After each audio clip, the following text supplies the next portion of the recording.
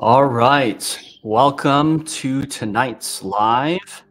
Um, so today we have a special guest. Michele is going to be joining us. Apostle Michele. Uh, let me uh, bring her on here. All right. Perfect. So Apostle Michele, um, this is actually the first time we've done a live, although we have, uh, let me just turn my phone on silent. Although we have talked a lot um, over uh, Messenger and, of course, uh, managing the fallen angels and Nephilim groups. Um, so why don't we start? Why don't we start? And if you could tell us a little bit about yourself um, and uh, just kind of your ministry and the things that the Lord has kind of uh, brought you into. Okay. Um, unbeknownst to me, I've been doing this kind of ministry Yeah. since I was a little girl. I was adopted into a family that their only child was 15 years older than I am, had many, many multiple personalities, and was deep Wow. in craft. So I've been doing this basically my whole life. I just didn't know what I was doing. Mhm. I've been through previous marriages where um, my children's dad Yeah. is um, he was an alcoholic, a Desert Storm veteran, and because of his alcoholism, he would invite demons in, Oh wow. would become possessed actually many times, and those are some very interesting stories in and of itself. Mm-hmm. I've, I've gone to Bible college. I've had a varied life. I've been a mayor. Um, Mhm. For 30 years, roughly, I was a makeup artist for TV and film. And in Oh, okay. I would, I was probably the only one that you could know of at that time that would carry anointing oil in my makeup kit and would anoint the sets, pray over the sets, and was working on the industry a long time ago. Oh wow. Years ago, um, I became ordained under Joan Hunter Ministries. hmm and roughly oh about that same time is when through praying medic i met steve keeks harmon Oh yeah. hmm when he was traveling with mercy and anybody that knows steve knows kind of that story and they came to stay at my house for six days Oh wow. and during those six days which kind of backtrack a little bit they had never been able to stay at anybody's house for more than two days Yeah. all the covens that were after them hmm and I didn't know anything about SRA, satanic ritual abuse, um, Yeah. dissociative identity disorder. I mean, I, I knew a little bit, but not really much of anything. hmm And what Jesus told me that this was going to be my proving ground and my learning ground. Wow. So they showed up on Halloween night. Mhm. He expected that. That's the worst night of the year for her. And Yeah. it was just peace in the house. Jesus had already told me what to do to prepare my home, the around my home, below my home. And during that six days, the alters in her took turns popping up and saying, Hey, Jesus wants you to know this now. No, it's my turn. Jesus wants you to know this. Wow. So it was that was my training ground. Was six intense days of saved alters that were teaching me. Wow. And so, um, Steve, just as some for background, Steve uh, is a deliverance minister, and at that time, he was working with a specific uh, SRA satanic ritual abuse survivor, um, who had been, of course, through all sorts of rituals, uh, torment, uh, and so basically, Michele's just sharing how um, God aligned them and brought Steve and this girl into her home. And so, what happened from that after that? Learning a little bit about all of this. Um, th- learning about SRA, learning that I had angels all around me, learning all kinds of things, learning what um, gold dust and diamond dust does to witches and warlocks, which that's an interesting story. Yeah. Uh, it's like kryptonite. Hmm But through then Jesus started sending me simple cases. Yeah. That- And I don't mean to, to denigrate what it is. I mean, every one of them's horrific, but I guess they less complicated cases. Yes. Yeah. To to learn on, and yeah. then um, uh, close to well six and a half years ago now, he sent me, which has been the biggest blessing in my life and and the greatest honor was someone who had been promised to Abaddon as a bride. Yeah. Had uh, I we we lost count at thousands of. Um, yeah. There was for children. There was altars. There was all kinds of things, mm-hmm. and we have worked through that and learned together, and that has grown to helping people across the the world. I um like you do. You know, we I I don't take a lot of assignments unless God yes. specifically tells me because yes, I'm exactly. still dealing with some of these and writing a manual to help people so, because the bride is is clueless yeah people and there is so many people that not only need to but that have soul fractures yeah that's and so I guess with a lot of these the the the cases and and your experience with um with deliverance um I mean both of us you know the Lord has taught us over the years um but also connected very strategically people right in your path. Oh and yeah, so, like Ginger who just popped up who's one of my partners in crime mm-hmm. and we shut down portals. We shut down together with Jesus the Scott Travis portal. Um, mm-hmm. Um, but God aligns people up for yeah. his he's he's aligned us up. Mm-hmm. Um, Ginger's been following you. She she travels a lot with her work. Um, yeah. But there, there, God is aligning people. Yeah. And I mean, I guess like when we're talking about portals, guys, a lot of the things that we kind of refer to is, you know, there can be external portals where it could be in the land because of whatever spells, iniquity, uh, sacrifices, and things that are done by agents of evil uh, and the kingdom of darkness. But also, when we also refer to portals or gateways, we can also talk about internal realms, such as, for example, like your soul.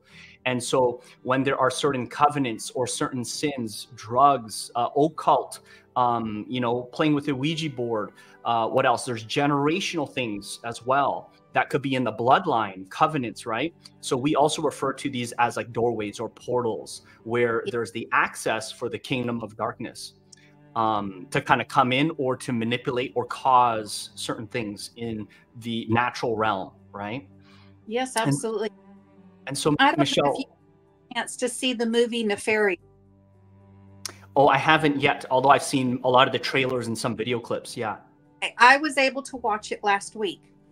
And it was like if there was one of my clients or your clients sitting there it was like oh i've heard that line before. Oh oh well i've heard that line before. Yeah. It, it is absolutely spot on. Yeah. The thing that they left out was the power of jesus in it oh mm-hmm. but everything else is absolutely spot on yeah I mean, a lot of times the you know I was thinking about it just the other day of uh, how many times have we had demons or fallen entities say you don't know who you're messing with or you can't make me go. Those are all the textbook stuff that we deal with in mm-hmm. deliverance, right? And when we refer to deliverance, we're referring to exorcisms. Uh, Catholicism refers to them as exorcism. Typically, with Christians, we refer to them as deliverance. A little bit nicer way to kind of say casting out demons from people. Yeah. Mm-hmm. One of and, my favorite lines is is when they say, like again, you don't know who you're dealing with. Yeah. then they call me particular names. yeah, exactly. I have to laugh because you know where they're getting ready to go. Yeah. And it's it's actually hilarious now. Hmm. Yeah.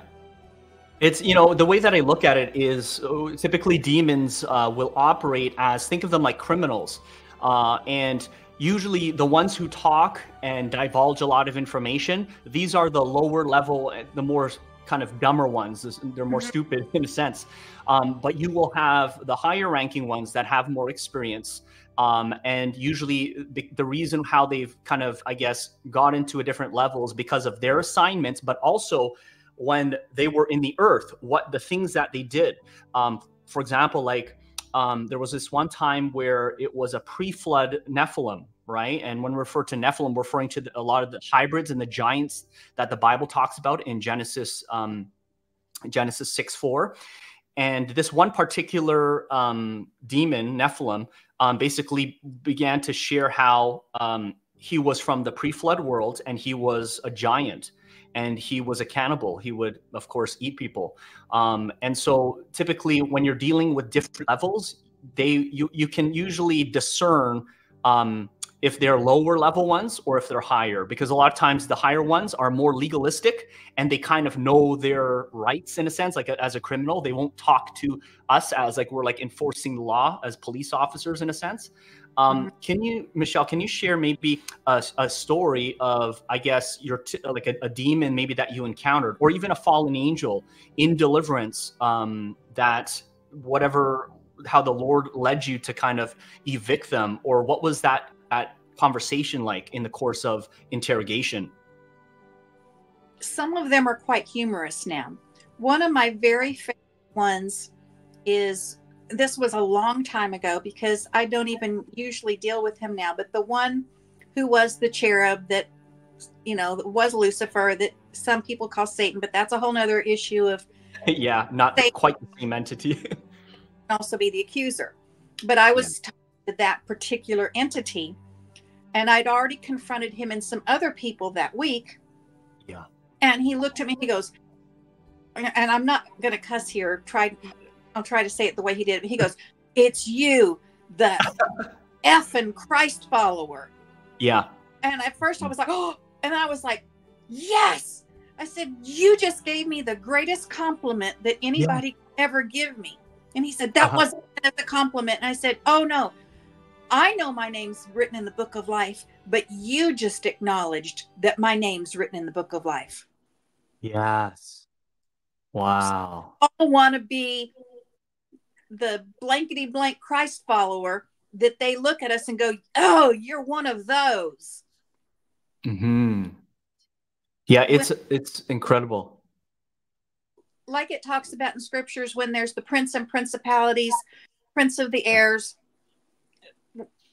Sometimes we're dealing with lower level demons, which, like you said, they're they're not very smart, but they have a lot of intelligence because they've had a long time to gain intelligence. That doesn't mean they're always smart. Uh huh. And when I'm dealing with a principality, then it's usually come deal with this one. But that's after I have broken the legal rights. Yes. Okay. Important, and I think you'll agree with it. Most important thing yeah. you do with doing kind of deliverance is breaking off the legal rights. Yeah.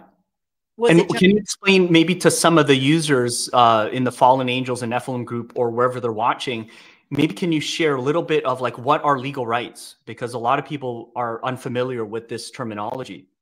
Okay. Um, a lot of people get confused because they say, since Jesus died on the cross, he died for all to take all of our curses. Well, you have to actually go back to the Hebrew and look what that says. And what Jesus did was he died and he gave us the key to break all of those. Mm-hmm. So when, when they say there's a reason that it says in the Bible that curses can go back generations, depending on whether it was a ritual done or whether it is a personal sin.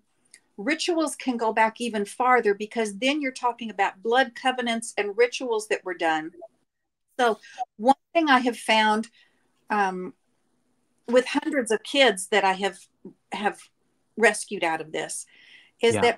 that 80 to 85 percent of them, if not more, were had been promised in a ritual by a free uh, Freemason grandfather. Mm, yeah, so always Freemasonry thing right there. Mm-hmm. If, if you've had Freemasonry of any kind in your family, um, a father, a grandfather, a grand, grand, grand, grand, grandfather back, then mm-hmm. you break that off because what people don't realize is the peoples that they're involved in. It's not just a good businessman's association, even exactly. though for it. Yeah. Um, once they mm-hmm. get to a certain level in those, they're performing rituals, and once they get to a certain level above 25, they're having to participate in child sacrifices. Yeah. Mm-hmm. And that's not commonly known. And a lot of people reject because their their father or their grandfather was was a really good man and um mm-hmm.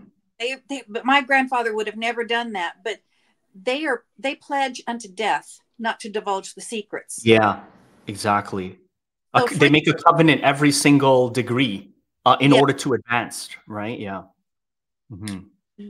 an interesting thing um, with one particular person i was working with is they had literally yeah. thousands of inserted children in them that didn't belong to them that were put there mm-hmm. as like cards and jesus had me start doing um oh my my i just went look with the name um a continuing case in court what is that called um uh, hmm. I know what you mean but yeah I, I, don't know the actual word never ends and i'll think of the name in a, in a second but some of the reasons the legal reasons that those children were allowed to be taken one of the big reasons is they accepted candy or a treat Interesting. in exchange. Now, to help explain this, if anybody has watched the most recent Wonder Woman, it was about making a wish, and there's always a trade. Mm, yeah. Mm-hmm. That is there's spiritual truths in that movie. Every time you make a do anything, there's a trade. Mm-hmm. And when these children traded, the enemy didn't have to tell them, well, I'm going to give you this candy or I'm going to give you this puppy, but you're trading yeah. me your soul. Mm-hmm. Some of them had trespassed. They'd cut ac- across people's land. Um, one child in particular, yeah, he had been told to stay out of his parents' bedroom over and over. Yeah. And they went out and he got in their bedroom and he also went in his big brother's room and then was outside riding his bike and got snatched. He was a trespasser. He was wow. breaking. Mm-hmm. another little boy, he was from an older time period, like maybe 1910 or 20. Yeah. had been taking trash to eat out of a trash can, like apple cores. Yeah. He was stealing that didn't belong to him. Wow. So the enemy perceived legal rights and what I did in these court cases is I broke that off, and I don't have the verse in front of me, but um, it's in Isaiah where it talks about a child cannot be held responsible for the sins of their father. Yeah. And mm-hmm. I have I was reading that the other day. Court, and they're also not of the age of accountability. Accountability, yeah. And so I've placed that into court case after court case. Mm-hmm vetted those into ongoing cases that those were they did not know what they were doing they were not of an age of accountability yeah. and so there's mm-hmm. a lot of that that the enemy now is not able to use but mm-hmm. if people start thinking about legal rights in the movie nefarious addresses that very thing because the guy that's interviewing him asks the demon well what causes you to have these open doorways basically yeah just grinned and he goes, It's layer upon layer of yeses. Yeah. Mm-hmm.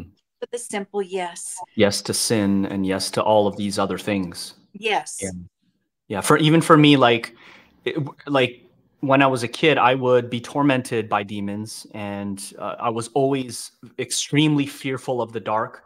Uh, I would have to sleep with night lights, and I would have all these little uh, plush toys around me to kind of protect me because I was so um, scared at night. And uh, there was times where, um, and I would have a lot of nightmares. But there was this one night where I got thrown around in my bed, just like in the movie The Exorcist. Mm-hmm. And I know for at least for me, born in the 80s, like we watched a lot of these kind of movies as kids. There was, you know, no real parental guidance when it came to late night watching of these type of movies and even pornography that was on late at night. Mm-hmm. And so not on, on, on top of the fear of, of, all of this kind of stuff, um, there was that one night where um, demons were throwing me in my bed, throwing me in and around my bed. And I remember seeing all of these entities um, walking in my room that night. And um, even at a young age, because of being exposed to pornography, those are other doorways. And most people have been exposed to porno- pornography as a kid. And then that opens the door to lust and all these other doorways, right? Oh, that's and so. Mm-hmm. Let's look at just common things where the church puts a huge emphasis on just on homosexuality. It says that's the biggest sin. But when yeah. you look at the verse, it says gossip, lying, slandering. So let's talk about the little old ladies at the back of the church that are gossiping. Yeah. Let's talk about road rage. Let you know all these things that well, it's, it's just I'm just mad at people driving. No, you are doing one of the things that God says He abhors. Mm-hmm, mm-hmm. He abhors yeah. God. He abhors lying. He abhors slandering, and that's that's rampant right now of people slandering other people. Yeah, huge difference in bringing something before the body. If you've yeah. approached that person and you're doing it biblically, and you're saying, "I've gone to this person." They refuse to repent, and mm-hmm. maybe platform or whatever they've got. Yeah. Okay, I've gone to him. He's done this, and he refuses to repent. Then you can bring for the body. But there's yeah. people who are just slandering people because of the enemy. Yeah, and I think one of the problems too is that I've noticed is a lot of the heresy hunter type of ministries that you mm-hmm. find, mm-hmm. and the more and more of something that I mean, the Holy Spirit has spoken to me, um, and even in um, in encounters with the Lord in the heavenly realms, where Jesus has strike very kind of um, strikingly said to me that a lot of these ministries, the judgment of God is going to be on them, and mm-hmm. because and the thing is, is some of the the things that people have been saying have been actually speaking out against the moves of the Holy Spirit and you know whether it be like you know praying in tongues or holy laughter and and a lot of different things like that there's been um, unfortunately uh, a lot of um, people that have spoken out against it and the lord is actually going to judge them. And so one of the things that i mean i teach is that do not um, go up against the holy spirit the wor- the moving of the holy spirit because it is something that is actually quite grievous um, and I think that in the day and age that we live in, a lot of times people will um, post things specifically divisively, but to gain, you know, almost like a following yeah. and gain, you know, kind of like uh, attraction in that. Uh, and I think it's really important for us to also recognize that there is a counterfeit, yes, of the way that the enemy moves, and there can be like for example we talk about kundalini spirit a lot right through a mm-hmm. lot of uh, occult practices new age and different things like that energy healing um, you know horoscopes and all this mm-hmm. and with the kundalini spirit a lot of times there is a shaking and a, um, a, a, a, wreathing and wiggling like a serpent on the floor. So we'll be doing a deliverance, and the kundalini spirit or a python spirit of witchcraft etc may actually cause the person to wiggle on the floor like a snake. Of course we can bind it and and and tell them to sit back up and speak speak properly like right? But a lot of times people will mistake christians will mistake that kundalini spirit or python spirit and they'll say oh just because because christians for example uh, come under the power of the holy spirit the anointing the glory being so strong that you can actually shake under the anointing and under the glory of God. So mm-hmm. let's look at the Bible verse. And I don't have my Bible and I can't pull up the yeah. app. But if you look at the reason why the high priest, yeah. when they went into the inner, the Holy of Holies, they yeah. had to have a rope tied around them because being in that presence, they could fall out. They could die. They could literally have a heart attack and and nobody else was allowed to enter. So they had that rope in case they have to pull him back out. Yeah. And you know, another thing with that too that is fascinating is it's like um and I want I want to ask you a question on this is um being in the presence of God because we're talking about a little bit of deliverance and demons and fallen angels, but also we want to talk about heavenly things, God in uh, the way He manifests. And so, in your encounters or visions with the Lord, when you've been in the presence of the Lord or in the throne room, right? And the, the Bible mm-hmm. talks about how we can enter in to the most holy place because the forerunner, Jesus Christ, has made a way. He's torn the veil. But when you've been in the presence of the Lord, can you share maybe a little about a bit about that, what that actually has done to you? Like, were you able to stand or were you tired afterward? What happened? Absolutely. But and I want to preface it with this is when, and I'm, I know it's the same way with you. When I enter into the presence of the Lord, I'm not willing myself to go there. I'm not sitting and trying to, like some uh-huh. people, trying to meditate and I'm going to see myself in uh-huh, uh-huh. Jesus Mm-hmm. It's never by my anywhere that Jesus takes me, he takes me. And I'm yeah. willing to go wherever he takes me. Yeah. Mm-hmm. The first time that I was in the actual presence of God, yeah. I didn't I didn't see his, there was so much glory. I can't see his face, but I know it was him sitting on the throne. And it was just me on my face because I the glory was so heavy I couldn't yeah.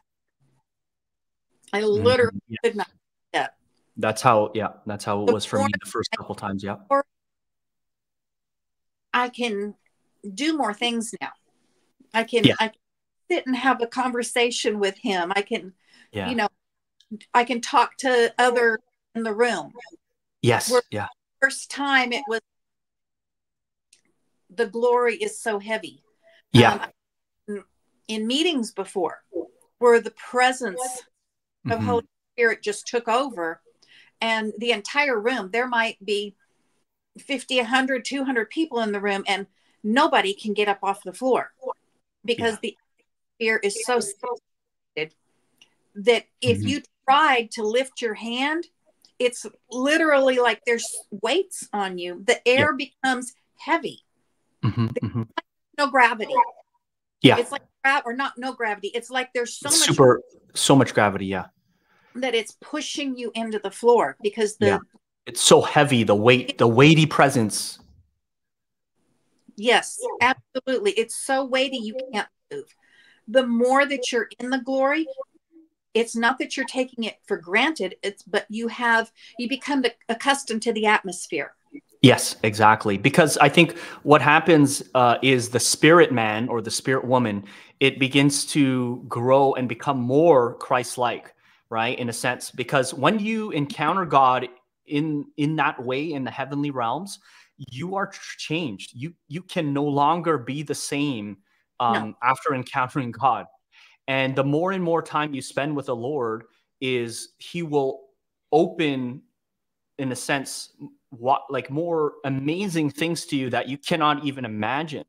Um, and so I, I think it's it's a progressive journey, right?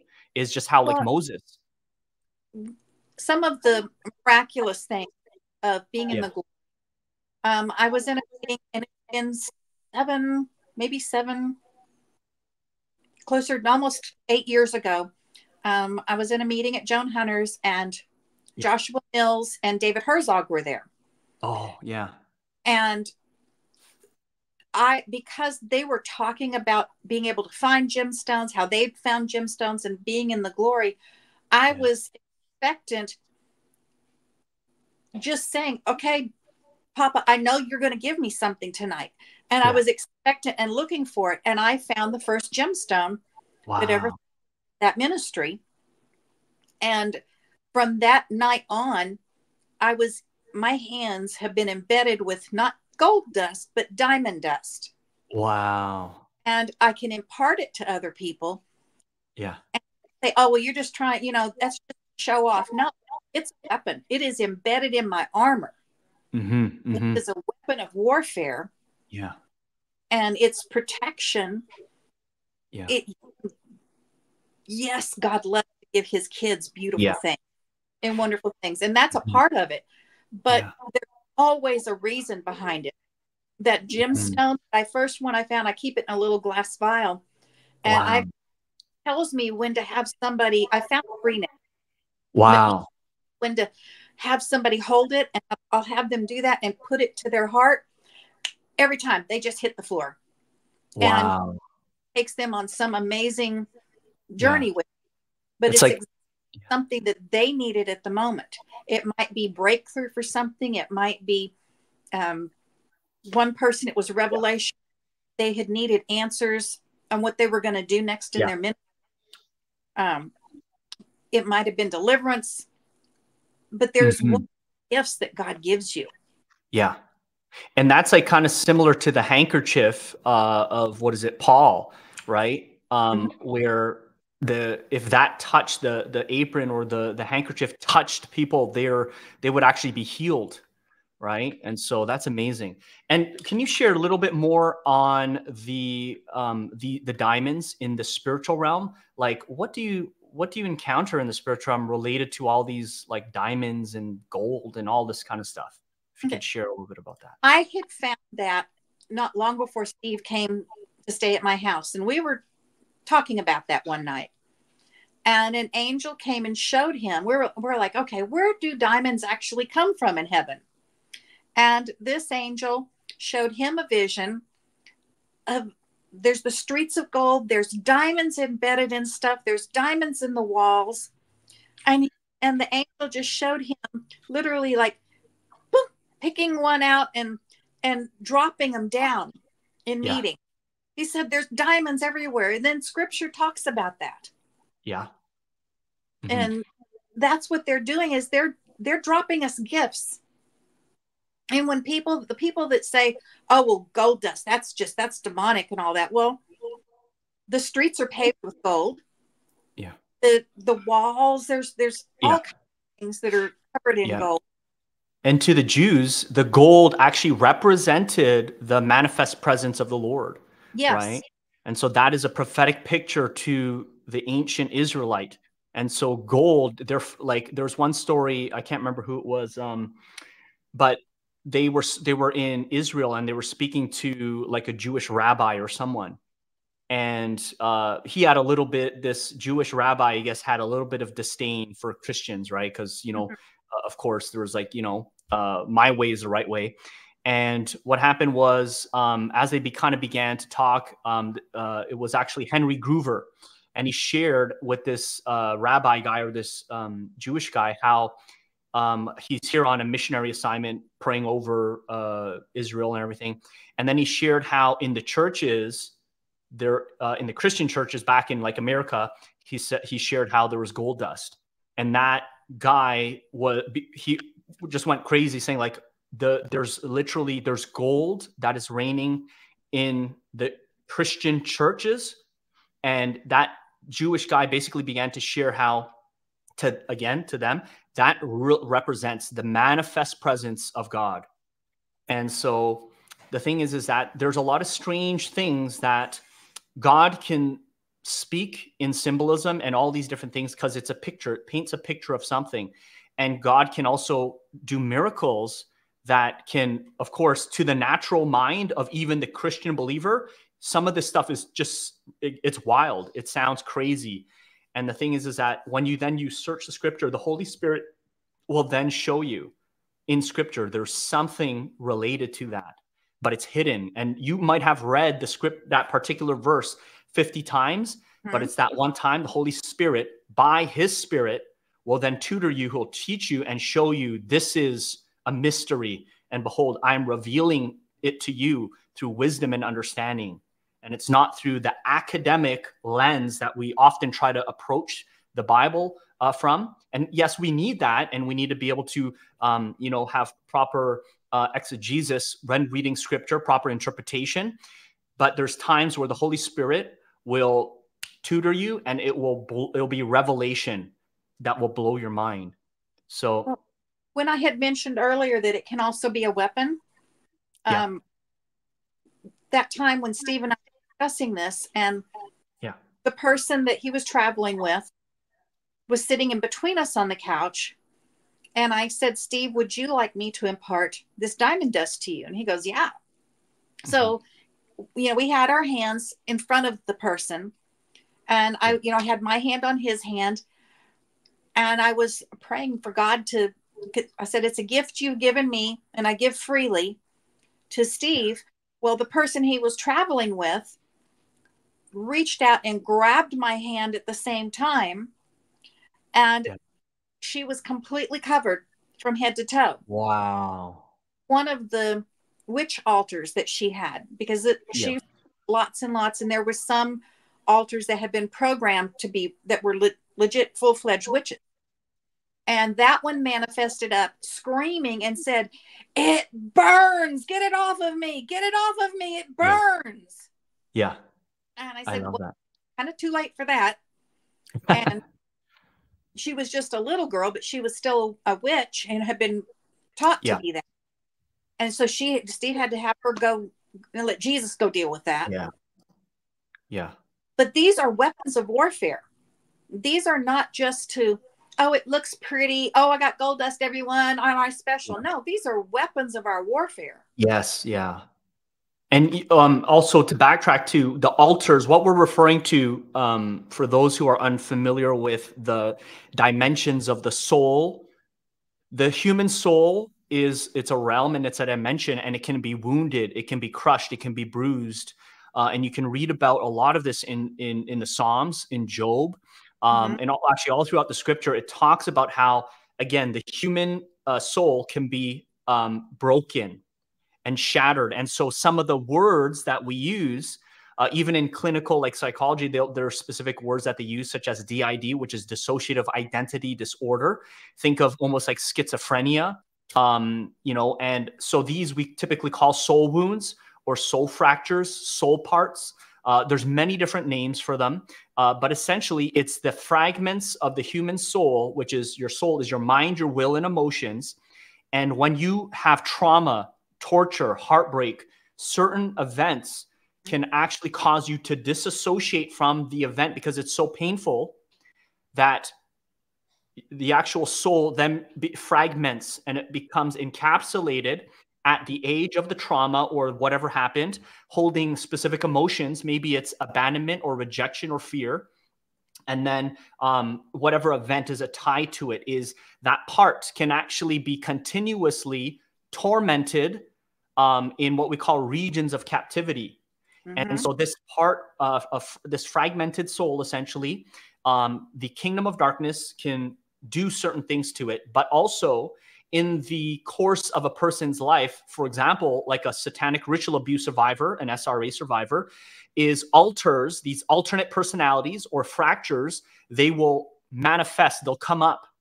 And it will be, again, a fra- usually it is the fracture of that person. Um, of course, earlier, um, Michele talked a little bit about like foreign soul parts or alters. And that's a little, it's a lot more complex. But just know that the human soul can be fractured and these parts will come up. And so, for example, there might be some of you on here that actually have soul wounds, or maybe you were married or dated someone who was like just crazy. They would they would get triggered by something, let's say in a fight, and they would become a totally completely different person. Mm-hmm. And after the argument, they may not even remember what happened, or might they may not even acknowledge how ridiculous uh, they were being. And that could be a symptom of them actually a soul part coming up, arguing or whatever. And basically, um, it's uh, basically an amnesic wall. They're not aware of it. Uh, and so that's kind of what Michele has been talking about.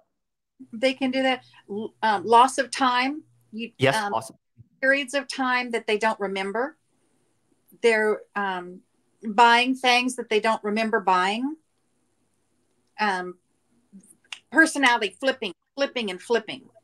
You know, yeah. they're they're all happy and joyful one minute, and then the next minute, it's yeah. like sometimes even the voice will change, and they'll oh, be yeah. mean and cranky, and then they'll be back with all happy. Yeah. And those are very good signs that there was some kind of intense trauma in that person's life. And here's something that people don't understand about SRA. And when we talk about ritual abuse, SRA does not have to be a satanic ritual. Like you mentioned, it yeah. can be anyone from having crappy parents that the enemy used to ritually break you. Yeah.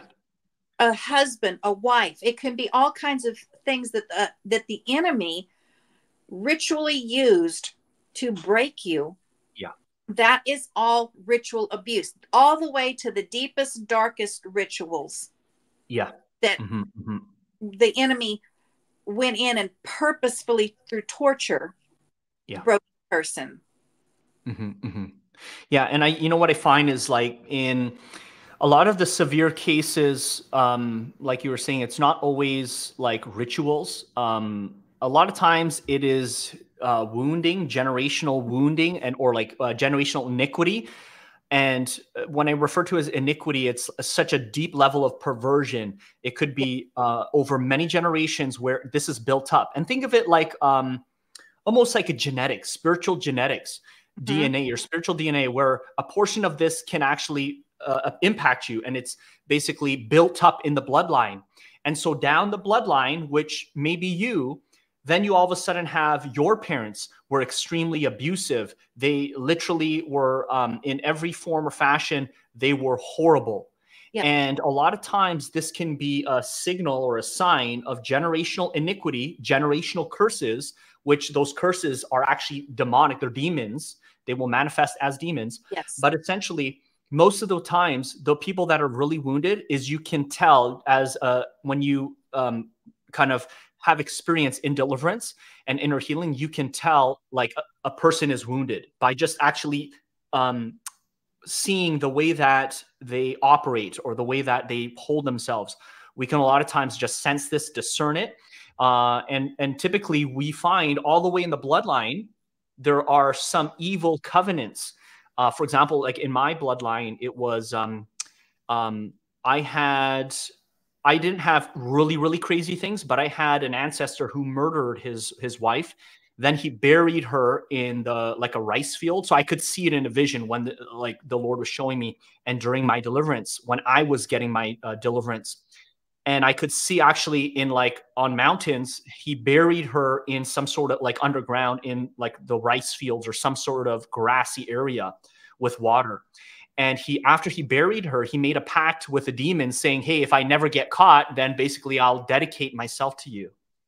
And that had inadvertently basically dedicated the entire bloodline. And so there was then this spirit of murder and rage and anger and jealousy that operated in the bloodline. And so my parents basically when they were uh, in their early in their marriage um, my father became extremely violent and my mom actually left him. We left him for a month. My mom grabbed me and my sister and left him. There was a restraining order and everything. And eventually they reconciled, but that was in their marriage. Now, when I got married, everything was lovey and dovey because, you know, at 18 and 19 years old, you know that love, everything is going to be perfect. If all we need is love. And so we were really broken, both me and Jeannie. And so early on in our marriage, um, through really complex things, what ended up happening is I came home one night and I was going to basically use a knife and end her. And it was only by the power of God that it was actually my guardian angel that stepped in and actually I placed the knife down. And I found out this years later, but it was that same spirit of murder, jealousy, and rage, or multiple spirits actually, that were operating in my life. And it wasn't until many years later, probably you know 10 15 years later when eventually um, I had deliverance and I was able to, um, you know, have uh, be set free from these things. Although, be honest with you, after shortly after that, I became born again. After me and my wife uh, got separated and I was arrested, but so I found the Lord. That's how the Lord ha- basically kind of used it for me to find Him and be get, get born again. But throughout those years, I um, I didn't have to really deal with that particular demon. When um, I got born again, there were demons that actually had left. Not all of them, but there was some key ones that left. Um, but it was later on, you know, many years later, when I actually had a formal deliverance, um, that there were some lingering ones that they really didn't have too much power in my life because I was already walking a sanctified life, and so a lot of the things that I was doing had just weakened them to such an extent that they were basically they couldn't do anything in my life but they were still inhabiting my body or my soul they were still there uh, causing other issues, uh, health issues, and stuff like that. Um, so, Michele, why don't you share a little bit about your heavenly encounters and maybe some of the things that Jesus has actually maybe taught you? Maybe it's about early creation, watching the creation, or different dynamics in the spirit realm. Um, one of my first adventures that uh, last year, my my blog that I had completely crashed, and I'm still oh. trying on putting everything back together. Uh huh. But Jesus took me on this adventure. Um, I would go to this town called Fairhaven a lot, which is a, a little town that's in heaven. And there's a there's shops, there's a school there, and I would see David teaching in the school, and I've I've met Esther there. Um, she yeah. always children gathered around her and, and teaching them and talking to them. And this one particular time, I was with yeah. a group of friends, and one of them's watching right now. And we were walking along the shops, and I was like, Jesus, where do you want us to go? And I was drawn to an old, like a clock shop that had it yeah. the window it was almost like in um, back to the future how they had all those clocks on the wall. There mm-hmm, was mm-hmm. every kind of clock that was yeah. up in, in, there and i was drawn to go in there. So we went in and at all the clocks. I'm like is what are you trying to show me? And he kept saying it's about time. And i was like okay does that mean it's about time i did something? And he goes that um but as we're looking around i could see the back of the shop, there was a doorway, and there was an old man that was bent and kind of hunched over a working table, and I could only see the back of him. And he was working on something, and I was drawn to go stand behind him and look at what he was working on. Yeah. And had this pocket watch completely taken apart, and all the inner cogs were spread out across the table, the wheels and every part of the pocket watch. And as I started peering into those pieces of the watch, yeah, the wheels, the cogs, I could see galaxies spinning. Wow. Wheels. And I was like, this, this is amazing. And I heard like a and I went, oh, Papa. And he, he didn't look at me, he kept working. And he goes, okay, son, it's time. Well, then Jesus entered. And this is something that blew my mind because we're always taught that all snakes are bad. Mm-hmm, but mm-hmm. don't understand the word nakash. And he walked in with a huge snake like creature with yeah. legs, arms. And I'm like, ah. And he, he looked at me. He goes, What? You think we all were dumb and fell? Mm-hmm. Yeah. I had to kind of adjust my mindset. Again. Yeah. Mm-hmm. But Jesus said, There's been something you wanted to ask. And it went back to something in the courts of heaven where yeah. I had had a court order that Satan was supposed to deal with this situation. Had been um, he'd been court ordered to yeah. stop and retribution. And mm-hmm. I said, Why, Why isn't seeing anything happen with this? Yeah. And he goes, It's time to show you. And he went over a big door and he opened this huge door and we we walked out onto a platform. And we're looking into cosmos. Just mm-hmm. it wasn't just the universe it was universes and spinning and and just beautiful. And we're wow. looking and if you've ever seen the newer alice in wonderlands in there they have a scroll and the scroll unwinds and it, it shows all these things on the scroll these events yeah well, across the heavens, I saw this big, like a scroll unwind, and I knew that was my scroll because I saw things about my life all on this. But in the scroll, there was big holes punched in it, like big black holes. And I went, What is that? And he goes, What you have to remember is that the enemy was with us when we created and they don't know how to create but they watched enough and they know enough that they know how to damage creation. He said, so these ah. whole timeline, the enemy had taken their fist and punched holes. And I was like, well, how, how are we going to fix that? Jesus, are you going to, you, can you fix it? And yeah. he goes, I could. He goes, but you're going to fix it. Wow. Like, ah, you're funny. You know, how am I going to fix that? He goes, we're going to do it together. I'm going to teach you how to do this. And mm-hmm. then you're going to teach other people. And long story short, I'll, I'll get the blog re it's it's written. I just need to wow. get it. But what he did was he took me by the hand yeah. and started singing and dancing over holes in this timeline. And as we sung and danced and through the rock words that came out of yeah. our mouth here's what we forget many times when you know that you know that you know who you are then jesus knows that you know who you are the enemy knows that you know who you are. But then you're speaking with the rock sound waves that God used to create creation. Yes. Yeah. We have that capability to speak. Speak life. And as we sang and spoke over those holes, it's like ribbons came out of my mouth. Yeah. And as we're dancing out of my feet, and they're reweaving Yes, yeah. Mm-hmm. Not just repairing, it rewove it to be even better than new. Wow, that's amazing.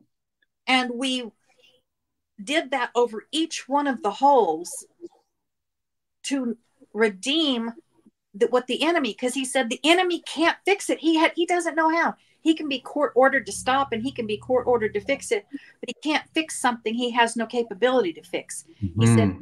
you my bride we're given the capability to be like us. Mm-hmm. He goes, You are created in our image and likeness. Yeah. That's amazing. Because you're created in our image and likeness, you have the capabilities to speak with that rock power, those sound waves. That's why mm-hmm. it's very important to remember that words are powerful. Yeah you have to be careful of the words that you speak because that's why bring life or death. And so we we must be careful with our words. Mm. But we can reweave through praise and worship. Mm-hmm. Yes. To show us those holes that need to be mended and start praising and worshiping. It doesn't have to be us coming like a words coming to our our you know a, a song that we have to come mm-hmm. we praise and worship and i don't mean feel good songs i mean songs that worship him yeah mm-hmm. and then you can reweave those holes mm. that the enemy through times t- before we were born we ha- he knew us before we were born. So the enemy has been trying to kill us before yeah. we were born. Yeah, that see that's an interesting thing you said right there is he knew us before we were born. And uh, why don't you share maybe a little bit about has the Lord shown you anything about the human spirit um, way back oh. before oh. early creation? Yes, and Ginger, who's on here, also we yeah. were in court and then jesus took us to show us and it goes back to um i can't think of the verse right now but it, it where it's talking to lucifer and i said i set you before um kings and and kingdoms yeah mm-hmm. well there was no kings and kingdoms at that time that for the king of Tyre that, that it's people yeah. suppose they're just talking about that no at that point talking about lucifer mm-hmm. and this goes back to the fiery stones. Yes. Back to where we were, who we were, the essence of us before mm-hmm. we were placed in these earth suits. Yeah. we become, were inside the Father, birthed inside the Father. Yes. Um, this is a whole nother amazing thing, but what Ginger and I were both shown as that these are some things that had to be redeemed. We were apprentices under mm-hmm. Lucifer when he was leading worship for heaven. He was given oh.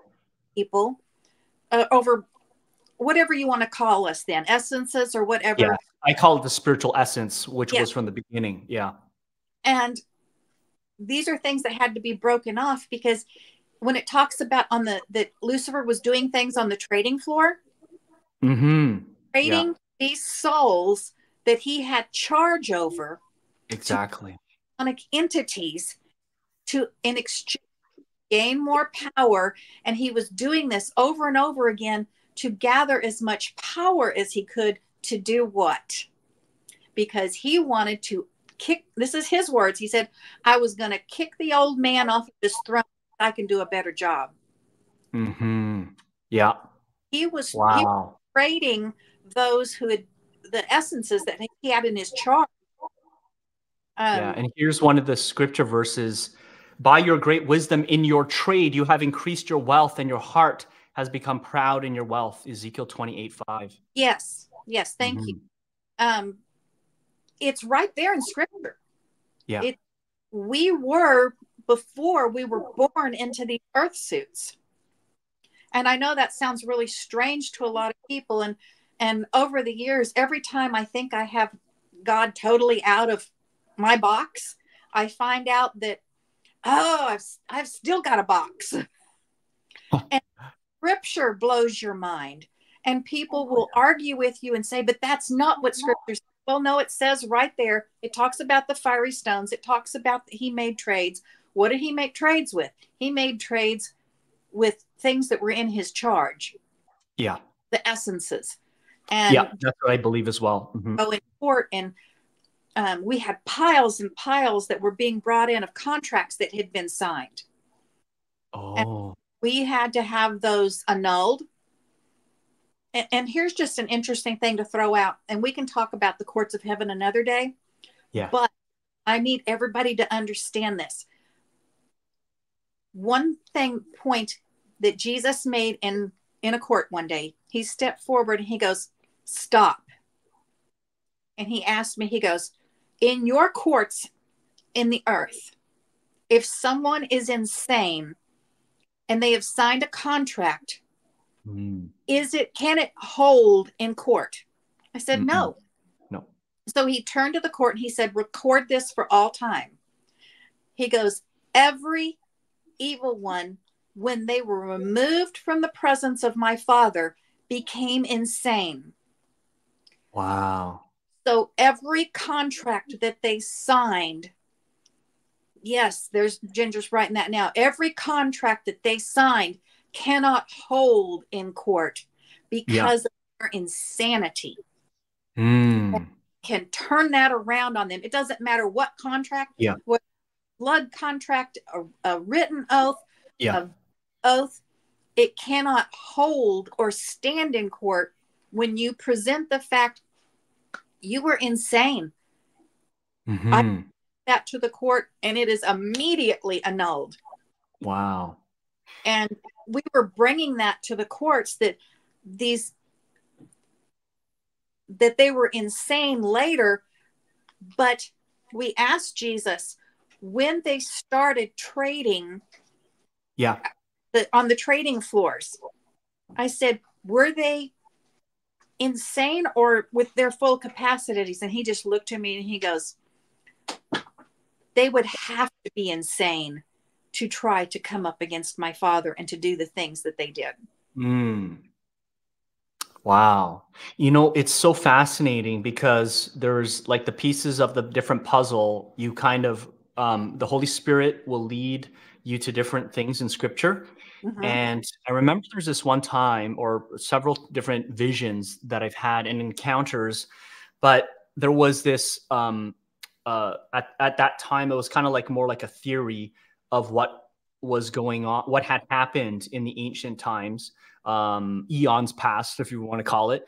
and I had encounters in um, high level SRA deliverance, um, Illuminati bloodline um, uh, kind of uh, clients, where in those sessions, there were interesting things that would happen. Where, for example, we would deal with all sorts of fallen angels, watchers, and then, of course, Nephilim demons, warrior class strongmen, and untether entire realms um, of of uh, demonization and and regions of captivity of healing parts and and having them delivered out of that and we eventually came to toward the end of the session one of the sessions because as you know with sra sometimes it's many many sessions years sometimes but at the end of one very um, powerful session there was a part that had, I guess, come up toward the end. And at this point, um, it was a Lord that was ministering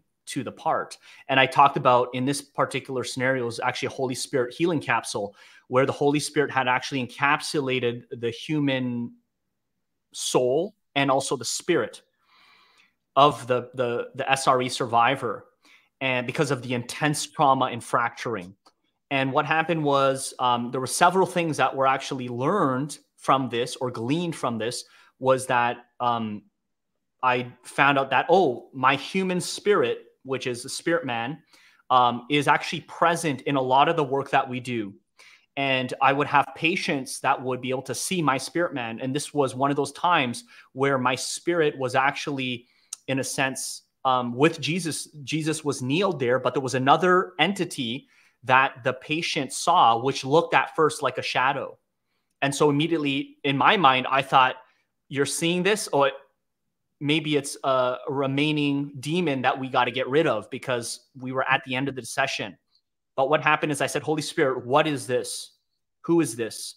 And in that moment, the Holy Spirit said, That's you. That's your spirit man. And at the same time, the patient said, It's your spirit it's your spirit man and i was actually veiled in in armor she could describe it and stuff and um, in my other uh, you know kind of uh, sessions and stuff like that i had kind of learned about spiritual armor and so you you actually in the spirit uh, as you grow and mature in the spirit you actually are veiled in armor and jesus can actually upgrade your armor. I've gone through different iterations of gold silver armor ivory colored white armor that gleams like the sun. And so what happened is in that session we found out, oh, it was actually my spirit man. But what happened is there was her actual spirit, her spirit uh, woman actually came up and spoke and said, um, as Jesus was actually healing. And the spirit man spoke and said how I was with the Father in the beginning.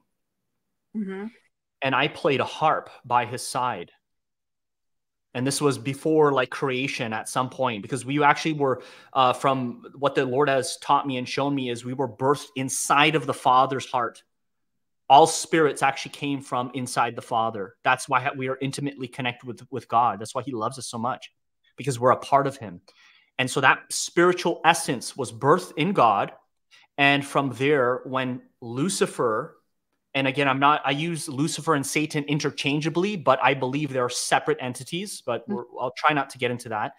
But essentially lucifer in the beginning as michele was saying was at some point was trading and trafficking soul parts which we call cosmic soul trade the babylonian soul trade and in that time frame that's part of part of the pride and all of the stuff that he was doing um, as he walked inside the Father, which is where the fiery stones are. What the Lord has revealed to me was um, because I've walked with Jesus inside the Father and on those stones as well. And actually, those are like testing stones. And the there was a tenth stone that I had seen when when the Lord had brought me there, uh, or a couple of times. But that te- that tenth stone is actually Jesus Mm-hmm. It represents him as a cornerstone. And what happens is you can only come to God through humility. Yeah. And because Lucifer had pride in him, he could not step upon the, the Jesus essentially the yes. cornerstone again a lot of this is like symbolic but at the same time in the spiritual realm in the heavenly realms there is a truth to it it is yes. a physical thing but it's also a symbolic thing it's and so jesus being that cornerstone exactly and it's a shadow of things in the natural realm. But Jesus being that cornerstone, when Lucifer could no longer be inside the Father, and thus he was also kicked out in that regard. But because of that trafficking and the merchandising of what he was doing, that is basically God kicked them out. And I heard someone else speak about this where God, merciful and loving, actually wanted to find a place. Scripture talks about how God tried to find a place for him, but there was none. And the only place that there could be was separation from God because of God's holiness. And that is why hell was created for the fallen angels. And but get so confused on that with the, what, what hell is. Hell literally is the complete and utter absence of God. Mm-hmm. That's it. Yeah. Yeah. And I mean, there's a temporary hell-ish realm um, mm-hmm. And a lot of times we'll interuse words like Sheol, uh, yeah. right? Regions of captivity. But within hell, the current hell, because it's not the final lake of fire, right? The current hell, there are different regions from when I've when I've been there and when the, what the Lord has shown me. And there's places where living humans, the the soul wounds, can be tortured, but yes. there are other parts of it where fallen entities are also essentially or and humans that have actually died are basically being tortured yes. from separation. So there's uh, different parts of it. Yeah. Different realms of hell. You can call it levels of hell. Yeah. Levels. Yeah. That you have a game or a movie, a video that's yeah. talking about the demonic realm. There's always some elements of a spiritual truth, a spiritual realm truth in there. So mm-hmm. much what you see in the in the demonic video games yeah. are that actually happen. Yeah. Um, things in Harry Potter, which has been funny, is I never could understand. God kept, he was telling me to read all the books. And everybody's, yeah. oh, no, no, no. And I'm like, okay, but God telling me to read them. I know. yeah. But basically, what you're reading is if you're reading a football instruction manual for the opposing team. Yes. Mm-hmm, mm-hmm. So yeah. they're not for everybody to strategic. Read. It's strategic. Yes, it was strategic training. Everything that's in those books is absolutely real. There's real mentors. The um where he's breaking the things and putting it in stones and all of that he's breaking soul piece that's just a breaking soul pieces and- mm, yeah soul fragments and i mean you, think about even lord of the rings actually there is witchcraft and stuff like that but yes. it's a christian author so therefore it's okay to watch right and of course we're not trying to say you should go out and watch all witchcraft movies that's not what we're saying but what we are saying is there is there's there's tidbits and nuggets of information mm-hmm. that god will sometimes actually uh, teach you through media through whatever movies, books, and different things. And Lord of the Rings, actually, there's several different stuff within the books and the movies that actually is like a representation of things in the spirit that actually do exist. Oh, right? absolutely. I, I have used those things that I learned from Harry Potter books. I have mm-hmm. used them in deliverance over and over again, mm-hmm. especially mm-hmm. with SRA victims. There was a literal in your face answer that they gave. Wow. That here's how this was dealt with in the movie, and I did the exact same thing in real life, and it stomped the enemy's butt. Wow, amazing. I mean, God, God can use like almost anything, and you know when you think about a lot of these kind of things is I'll, I'll, there's times when uh, i mean I, I like movies uh, sci-fi and stuff like that because there's like you know it's so interesting like the fantasy or, or you know whatever the, the imagination. And there's times where i have watched movies and there's and because i'm paying attention to a lot of the details and sometimes hidden messages and things like that.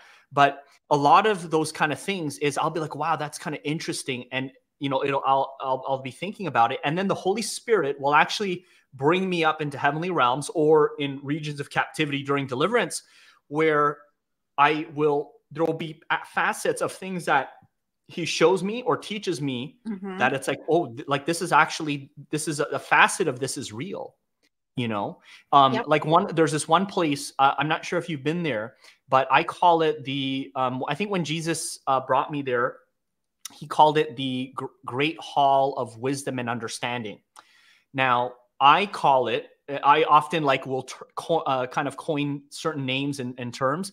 I call it the crystal cave of wisdom and understanding because when I was there, I met this. That was one of the first times I met the spirit of wisdom, Lady Wisdom and Lady Understanding, uh, two of the seven spirits of God. But in that place, it literally half of it looked like like a cave, but that had all of the most majestic, massive sized crystals, like a foot and a half, some of them like massive, long. And all of these crystals were in this cave, different colors, the most beautiful colors emerald, ruby, um, all the sapphire blues, all sorts of colors, yellows. Mm-hmm. Um, and a lot of times, the Lord will show me like, or the Holy Spirit will show me like, okay, so these this crystal cave, the, this is actually wisdom. So what happens is what I would see sometimes like a, a doubled vision where I'm there in the spirit. I'm actually there with Jesus and Lady Wisdom was there. And as Jesus is kind of showing me around, I would see angels and I would actually see saints or the spirit of saints and also mm-hmm. the redeemed people who have died and are actually now in heaven. They were all uh, different redeemed people there, but there were people that were still alive on the earth and angels that would actually pluck these crystals, right? And then the Lord showed me in the spirit, I would see a veil, like a, a separate vision within a vision where on the earth I saw actually, I can't remember if it was a girl or boy that was actually praying. Someone was praying by their bedside and just asking the Lord, uh, you know, for revelation or whatever. And that in the spirit, what was happening is there was an angel that was taking that revelation, that knowledge, and was basically releasing it into the earthly realm. And it came to that believer mm-hmm. in the spirit right? Through the spirit, but they were receiving that revelation. But in the spiritual realm, this is what's happening. It manifests as actually it's a crystal cave of all of these kind of things. Have you kind of seen anything like that, or has a Lord shown? I didn't know. I can't even remember right this moment what I was, my purpose was of being shown that, but yeah. I likened it to um, in Superman how the the crystal fortress came up Yes, yes, yeah. Mm-hmm. And that's what I was seeing. Um, yes, the Crystal Citadel. I think that is Crystal a separate place. Yeah. Um, that's that's a totally different place. But this chamber that I was in, this huge, yeah. it was like these stalactites, but everything was made of pure crystal, and it was gorgeous and echoing. Yes. And mm-hmm. um, I'd have to remember, look back at my notes because I haven't thought about this in a long time but it had to do with sound waves that are embedded in those crystals also. Oh, interesting. And they there's healing sound waves in those crystals. Oh. Wow. So and I, what you know forgotten about that until you brought that up. But yes, I have been there. Wow. You know, okay, so when we are talking about frequency and all this kind of stuff, vibration or light, remember, guys, is that the new age has tried to pervert some of this stuff. Yeah.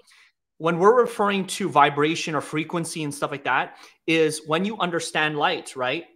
You actually understand that light is a frequency vibration um, and it has different properties. It's not just oh it's just light. It provides you know um, a, a, as a light source. It is actually all of these different things. And in heaven there are these frequencies. For example um, when we worship the lord um, just the the other week um, I was in a vision and I found myself at the foot of Jesus. I was actually looking at his the holes in his, his feet where he was pierced. And I was worshiping him in, in the throne room. And as I uh, kind of looked upward, he actually asked me to stand. And so I stood bes- beside him. And then he said, Look. And he pointed to the um, the throne within the throne room. I saw other saints and other spirits, angels, worshiping and he what he was showing me and i've seen this many times before but in this particular uh, encounter i was observing the worship of people on their knees some of them on their knees some of them with their you know just worshiping god. And there was um, the most beautiful waves of worship. That's what i would call it. And it looked like both a symphony of waves that were mm-hmm. vi- visible. You could see them but also the people were moving like waves in, in the sea or like you know in a ball game when people are do that wave they go and you know it just looks really cool it's all in sequence Yes, it's all in sequence. And that's how the worship was in heaven. But what was interesting is the the worship, the tangible worship, God, it was actually, you could see it moving through the Holy Spirit. God was actually riding on the worship of his people. He inhabits the praises of his people in scripture, but it was also being absorbed in Jesus and in the Father. And there was another time where I remember I would see from like the heavenly city, I would be in a different part of the heavenly realms, and I would see in the distance the heavenly city, and I would actually see that worship rising up, and you could literally see um, almost like musical notes and other things that were actually visible. You could see them, and they were also like prisms of light shifting in the sky, and that was like that's how heaven is. It's filled with the glory and the majesty of the Lord, but also the worship of the redeemed saints who have now gone to the heavenly realms. So. And I want to be clear for people listening the enemy is not able able he has zero none of the enemy when i say the enemy i mean any fallen one they have no capability to create. They can take and pervert. They can twist they can warp they can crush but they cannot create. We are talking about the r-u-a-c-h the rock rock however this yeah. I can never remember how to pronounce it correctly. Ruach. I usually say ruach but I mean, ruach, it's all kind of ruach, yeah. Of God that created creation. So one of the books that I'm working on is is called Color Sounds Like Glory, because during my time as a makeup artist, I had a makeup academy and I traveled all over the country and would hold workshops to teach people to become a makeup artist. And one of the things that I really focused on was color theory. Yeah. And so color theory has always been a, a huge love of mine. Well, one mm. of the things that's interesting is inside of your eye, you have three color cones. Oh, yeah. Color is a sound wave. You see color by the sound wave of color coming in and hitting those color cones in your eyes to translate the color to your brain so you can see the color. Isn't God simply wow. every Incredible. color has a sound wave? That's yeah. why color temperatures. Some colors are hot, some colors are cold. They all have a sound wave. There is a yeah. sound of eh, color is creation. Mm-hmm. And every color has a sound wave. Here's another, this is a whole nother subject. With the, the same color cones and rods that you have in your eye, yeah. in your pineal gland, which is buried deep, deep, deep in your head, mm-hmm. God created that. The enemy gets a hold of it through other through various means. Pervert it. Yeah. In your pineal gland, guess what's there? Those what? same color rods is in your eye. Wow. Why would God? Because the enemy can't create, only God.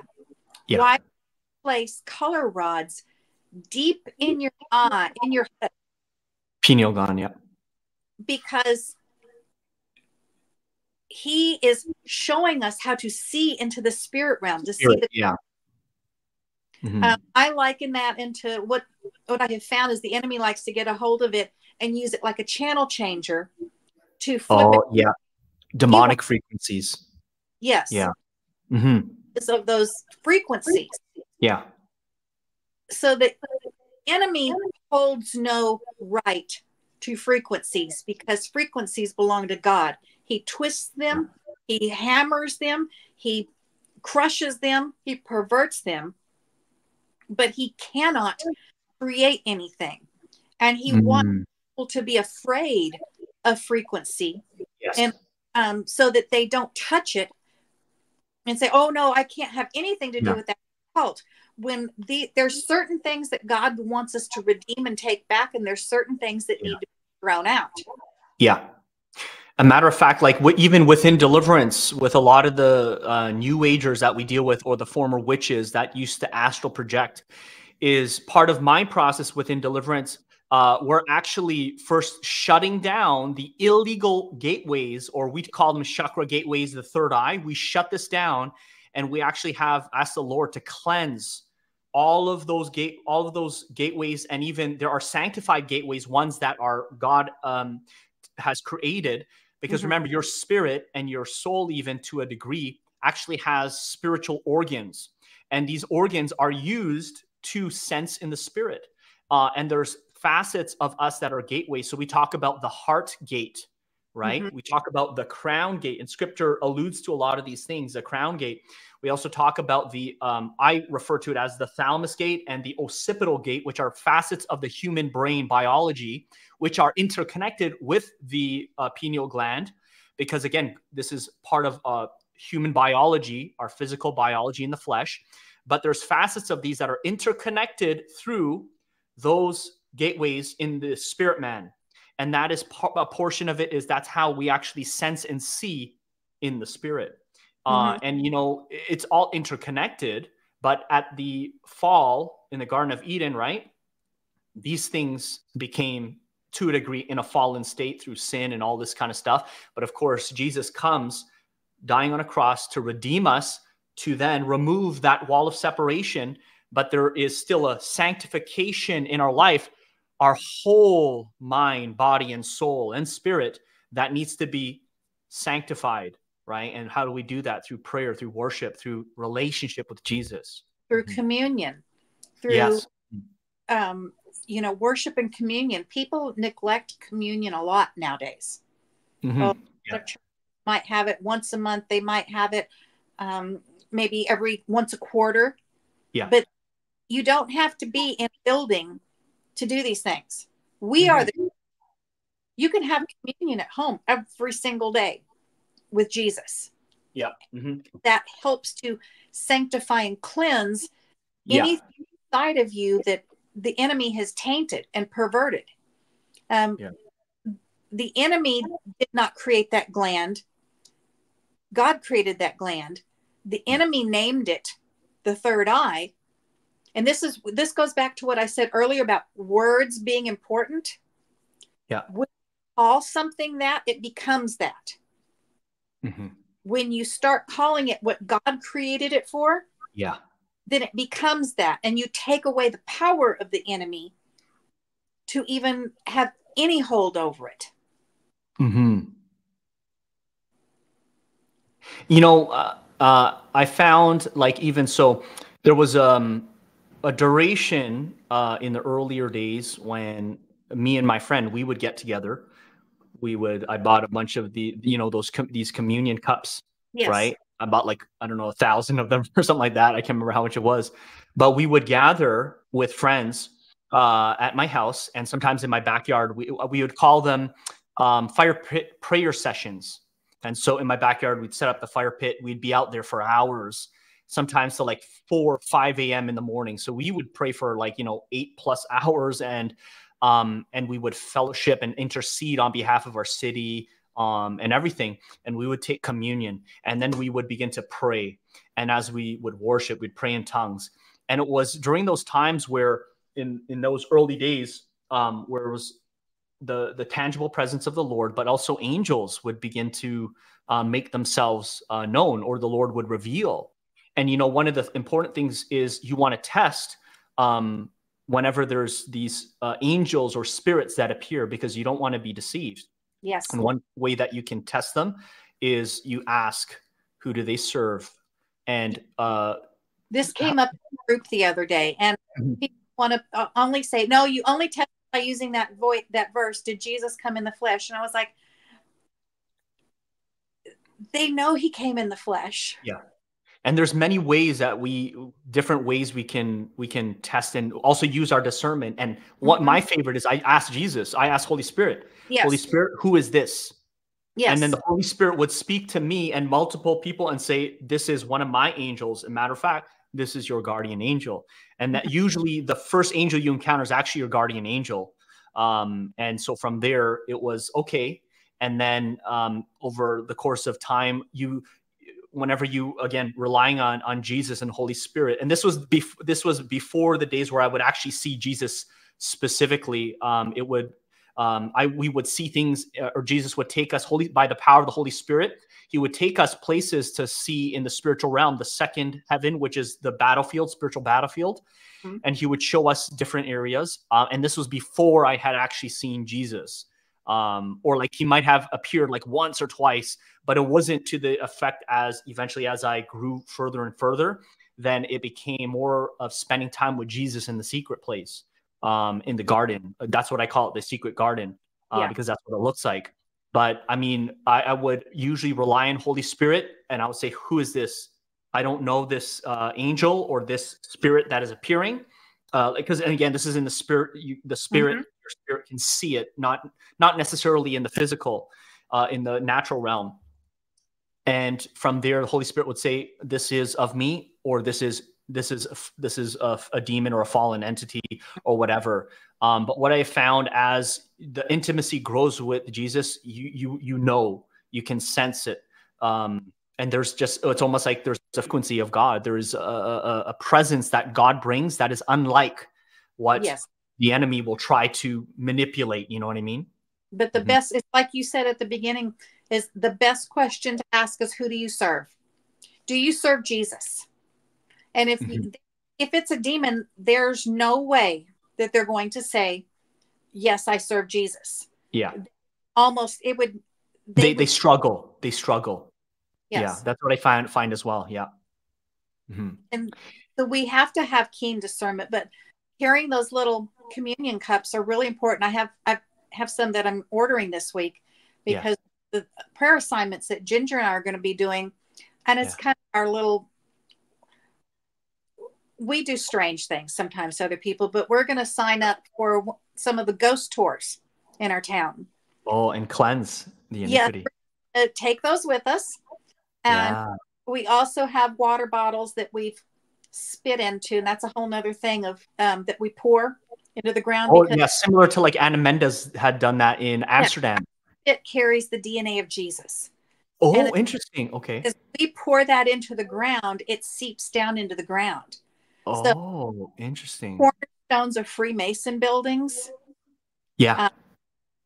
Um, a lot of different things like that. But we're just going to go take these tours and shut it down, shut it down, shut it down mm-hmm. uh, as we go along. Yeah. Mm-hmm. There's a, a, lot of things Praise like God.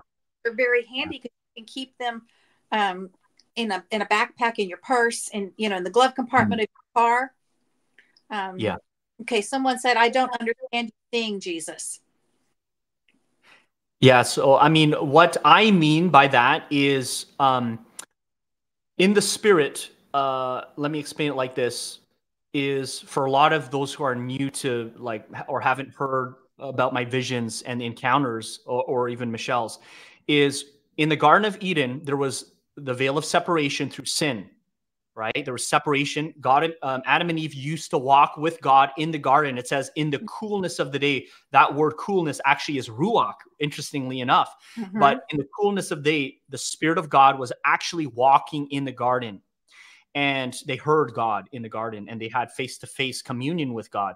But what happens is after sin, there's a wall of separation now. Sin prevents man. And it, this is followed in the Old Testament through, and in the New Testament, even where you have the veil of separation that is the whole most holy place or the holy of holies. So you have the outer court, the inner court, and then the holy of holies.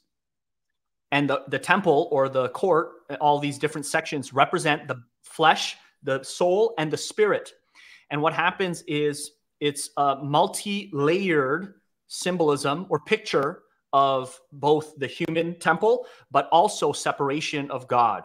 So what happens is then Jesus dies on a cross and that, that veil is torn. It says from top to bottom it was torn, representing from God now to man is it is open. And it talks, scripture talks about in Hebrews how Jesus was the forerunner that entered behind the veil of the most holy place and so that to bring us into that holy place.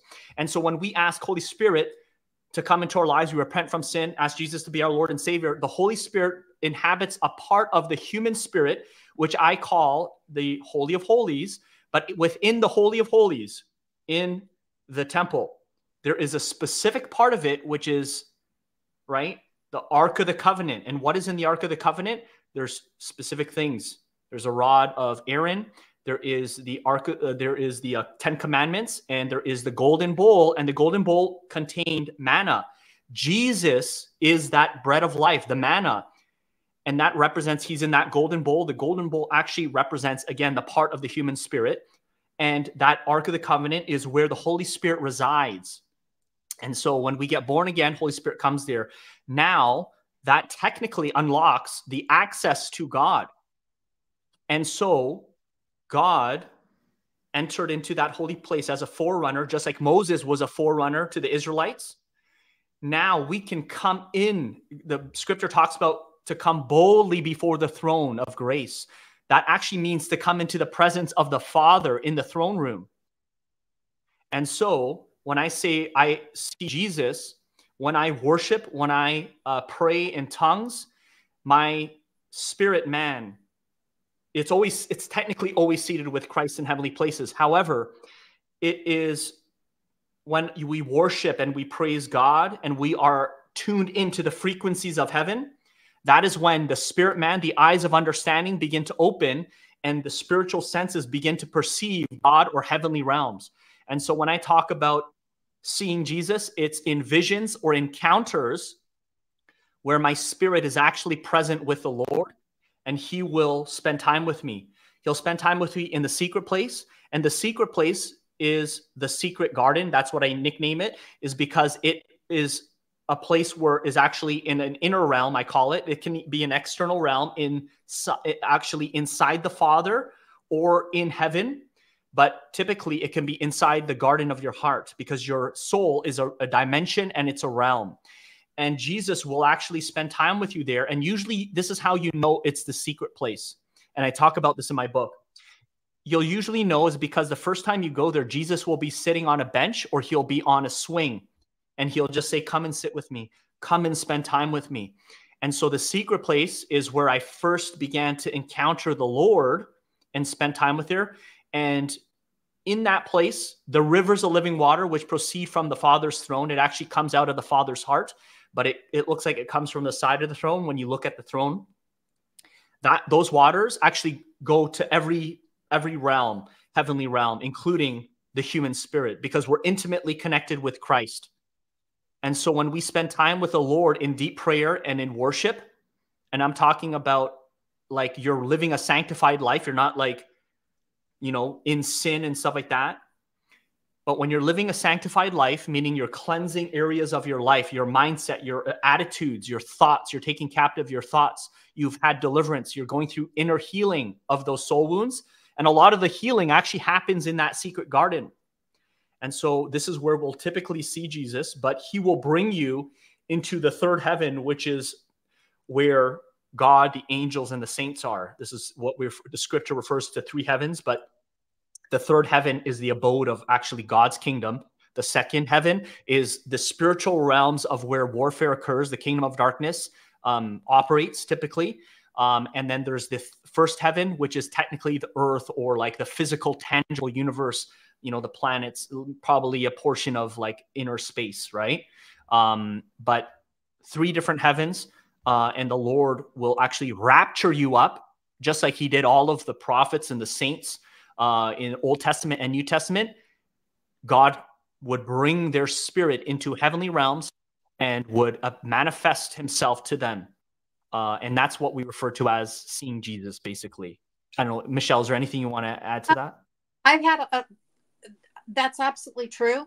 I've had other experiences with him when I know that he's standing beside me. Sometimes I can physically see him, sometimes I'm not. A lot of times, as I am actively in the process of rescuing children, mm-hmm. um, Jesus is with me. I'm going in. It's it's usually in the spirit realm he's taking me, but it's very yeah. different places, and he's I can see him standing with me. Yes, me too. Yeah, that's how I usually see it. Yeah. But and I'll I'll be wide awake. There is yes, exactly. That, mm-hmm. you're, that you are in uh, like awake visions, where yeah. you're you can even be with other people and as a group be seeing yeah. the same exact thing. Exactly, corporate vision. Yeah. There's dreams, there's visions, but seeing into the spiritual realm, the closer you get to the Father's heart, the more real seeing in the spiritual realm is almost more real than this physical realm exactly and it's like the colors the colors are just so beautiful. There's so many more colors. There's like an infinite amount of colors. And not only that everything in this in the heavenly realm in like the third heaven it's it, it's actually worshiping god. Everything. The light that emanates off of the plants and the flowers and the plants themselves are actually worshiping god. The grass the way it sways and there's it's a harmony and symphony of worship in the heavenly realms and there are even animals and creatures even like din- there's dinosaurs in the heavenly realms because this is all god's creation um, and so there are all sorts of amazing things and like mm-hmm. what I say too is I have a scripture on the bottom there. He brought me out into the spacious place. He rescued me because he delighted in me. Psalm 18, 19. Hmm.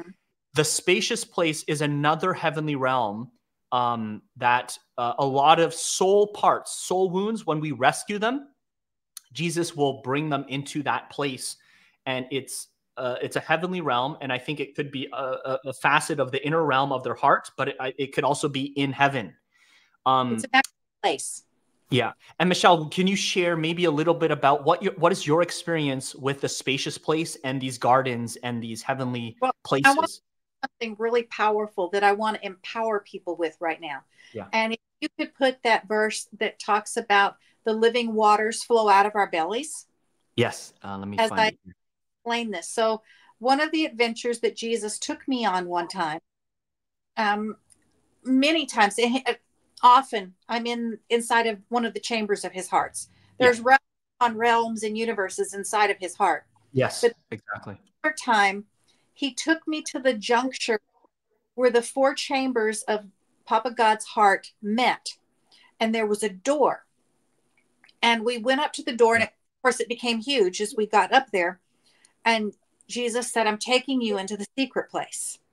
So we he opened the door and we walked into the most luxurious garden that you could ever ever imagine the yeah. smell of the the earth was rich almost um, like you would think of christmas time and, and cinnamon but it wasn't cinnamon but it just it was intoxicating and yeah. i looked at it i said is this the garden of eden? He goes no baby. He goes this is where the garden of eden came from. Wow. And so we kept walking and there's amazing trees and fruits and there there's not animals in in here. It was um there's some butterflies maybe around but this is this was just a beautiful garden. And we're walking along and we come up this like a spring that's yeah. of this garden. And out of the spring there's four tributaries of, of, yeah. of little creeks running out of this. And the water is clear and there's the most beautiful jewels at the bottom of it. Wow. I was just looking at it and i'm he knew i had questions and he goes go ahead and ask.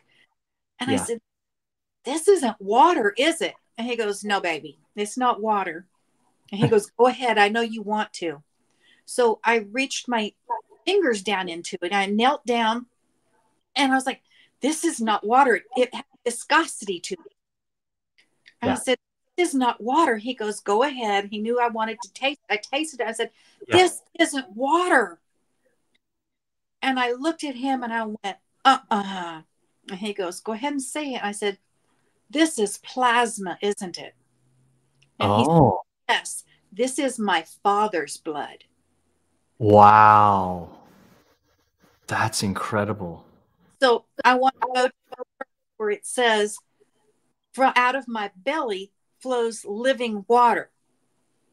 When you realize that that's Father God's blood wow. that's flowing out of your belly, and you're surrounded by the blood of Jesus, and you have the mind of Christ, and you have Father God's plasma, His pure blood flowing out of your belly, what can stop you? There's wow. not a demon in hell that can stop you. When you realize the power, incredible. you've got the sound waves of God coming out of your mouth. You're surrounded by the blood of Jesus. You've got the mind of mm. Christ, and you've got God's God's blood flowing out of your belly. What that is incredible. Stop you. Wow. You know the the rivers of living water it, it's it's so fascinating. So as as like when we become born again, we have access to it, but not everyone accesses it.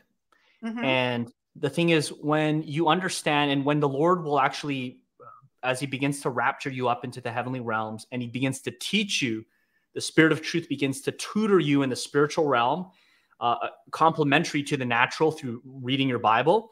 He will show you some amazing things. And I remember uh, one of the first times where I was in the throne room of God. And I mean, I, I spent a lot of time there um, worshiping. And a lot of times from there, uh, I have a tinkering kind of mind and I want to know, like, well, how does this work? Or like, what's the name of that? Or, you know, kind of a thing.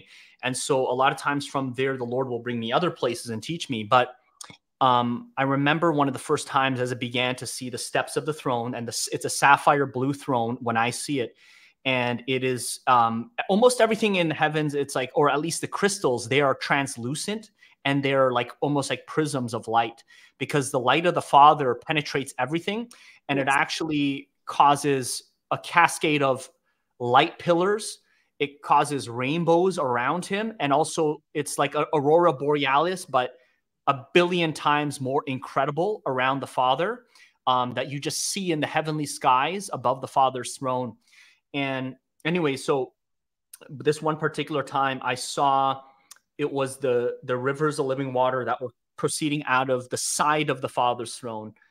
And um, and eventually me and Jesus would ride down that uh, that particular area almost like a slide mm-hmm. and the thing is in heaven everything is fun everything's an adventure everything is oh, learning we have the best slip and slide that goes into the river yeah Exactly. And some of these rivers, they're like waterfalls. So it, it leads to a, a, waterfall. And then at the waterfalls, boom, you go down to another like r- stream of, or river or pool of water. And then you also have the sea of glass. And the reason why it's called these things is it literally looks at different times, it looks like crystals. And there was one time where the Lord just scooped it up into my hands and it was literally made of actually diamonds. And all of this comes out of the Father. Yeah. And Jesus is also intimately connected to that water because Jesus is also that water, right? And so we would there was times where the Lord would actually throw me into the into the river or like um the the waters and it would just like seep into my spirit and I would feel like refreshed and just like so good. And a lot of times around these rivers, it's life giving. And mm-hmm. what you have to understand is like there's a lot of times in the heavenly realms there's so much going on you could be in uh, by a specific area and you might be alone with jesus but other times you will see people saints you'll see little kids some of them who have gone too early who have been aborted or maybe died um, and you will see them actually playing in the water with animals and like whales and like dinosaurs like literally it sounds i know it sounds crazy but the thing is with god there's no limits no. And with with all of the amazing things, there's no nothing can happen. There's no harm that can come to these little children, and no. some of them are like little toddlers that are playing and breathing. You don't have to breathe underwater. Like there's times where I've gone underwater and you just don't have to breathe.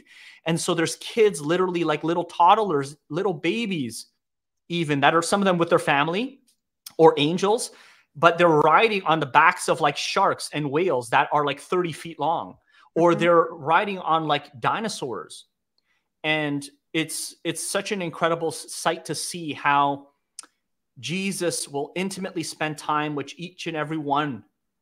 He like these kids will run up to him in like crowds of little children. They'll run up to him. They'll jump all over him. Some of them jumped on me. Yeah. Yeah. And he will spend time with each and every one of them. And then they'll go off and play again. And it's it's it's such an amazing sight to behold. Um, and actually, Michele, earlier you were talking about uh, David and Esther, how you had seen, and I've seen David and a couple of other th- uh, people. I think I've seen Paul, I've seen Moses and Mary, the mother of Jesus. But can you share about maybe some of the prophets of old or some of the saints that you have seen? Have you had any interaction with them, or has Jesus introduced them to you? Yes, um, I've tons and tons of interactions with David.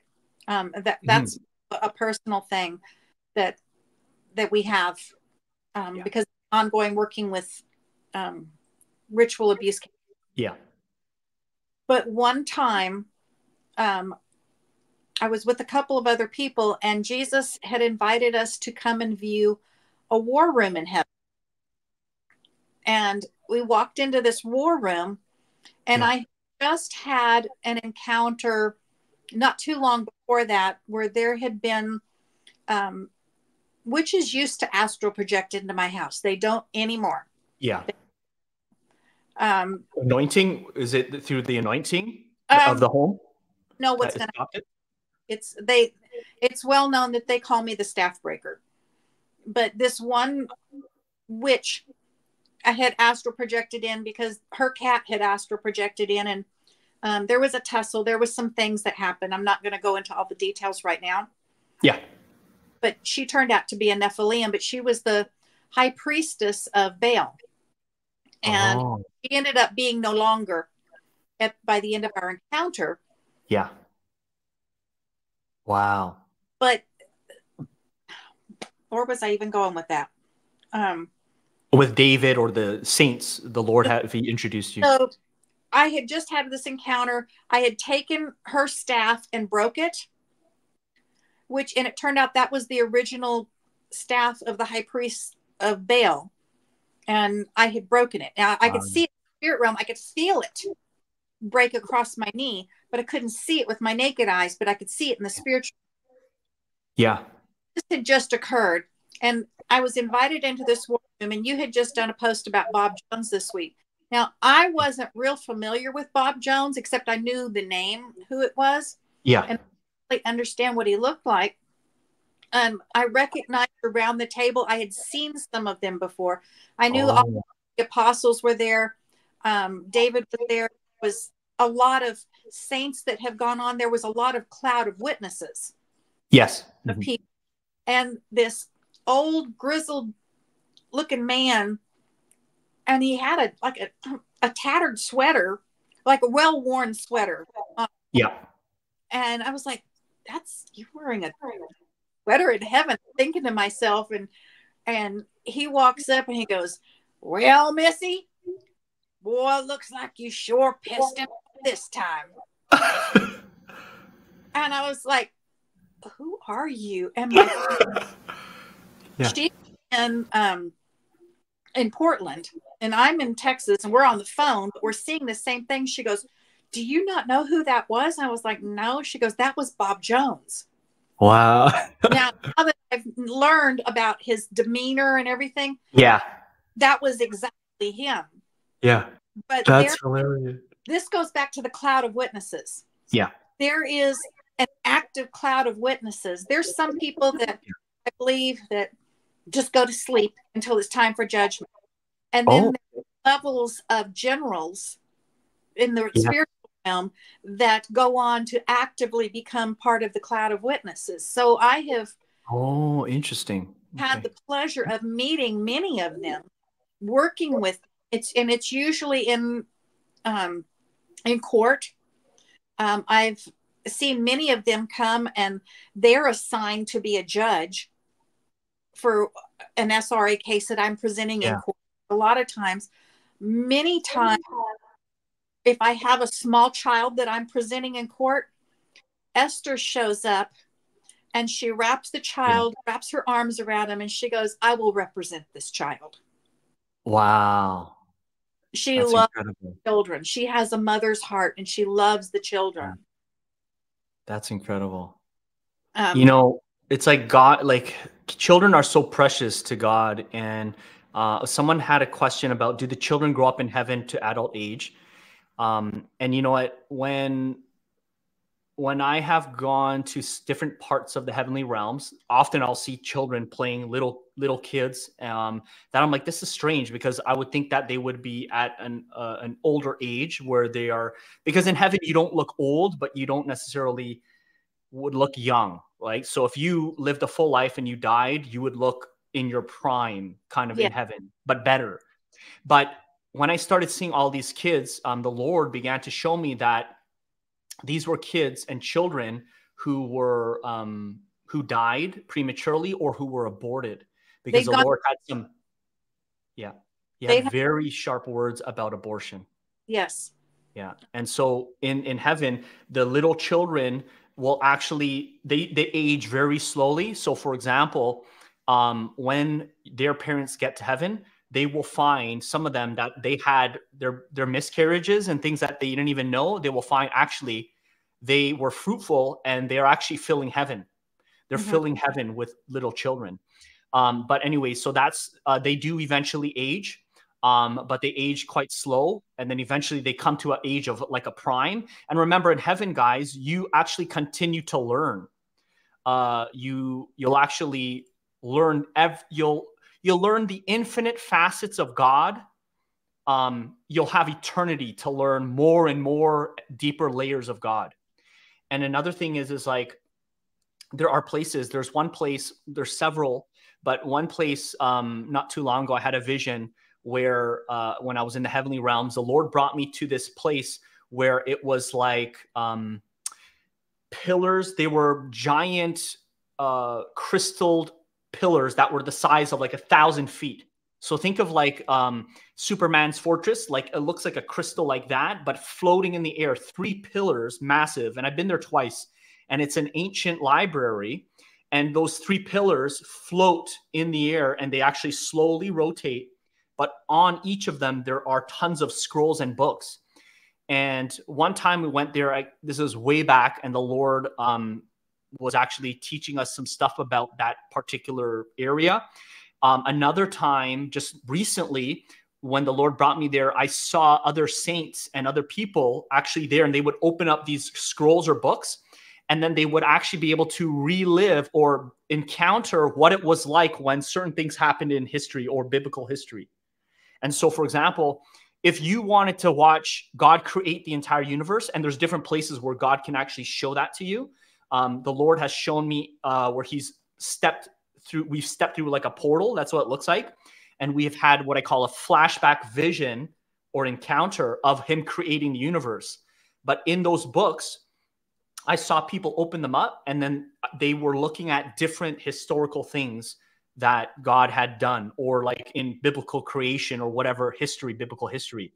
So there's very strange things in heaven where you will have eternity to have fun, to learn more uh, about God, or to learn more about like different nature of different things, and then of course fellowship, and um, you know spend time with family or friends or biblical characters.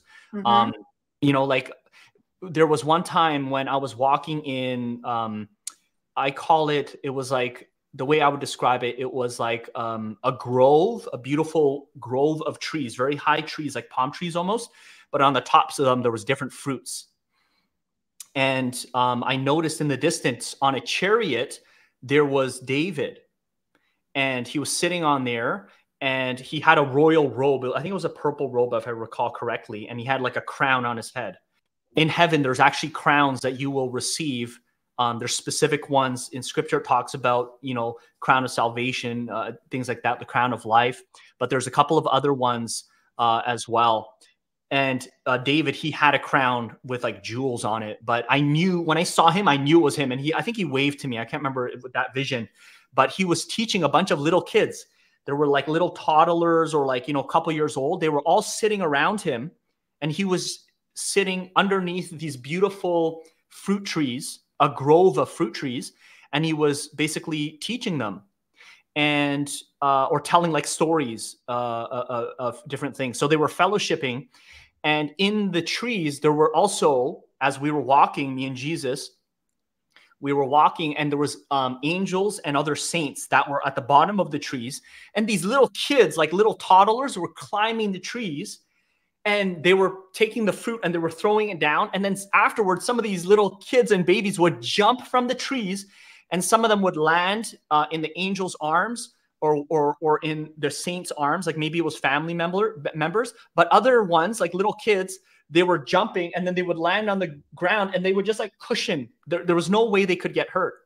And but everything it was so glorious to watch because everyone's laughing and enjoying themselves and so there was just so much um, so much like peace in in the heavenly realms where you will encounter some of the wildest things Um, and so, yes, kids, they are. So, for example, Sharon um, shared here, um, her son passed at seven years old. So, in my book, there's a chapter where I touch base on this. Um, so, in that chapter, I actually talk about the couple of visions that I've had, only a few of them when I've seen the children and what the Lord has shown me about the kids. And so, your son, he's well taken care of. Don't worry. Uh, he is um, having tons of fun.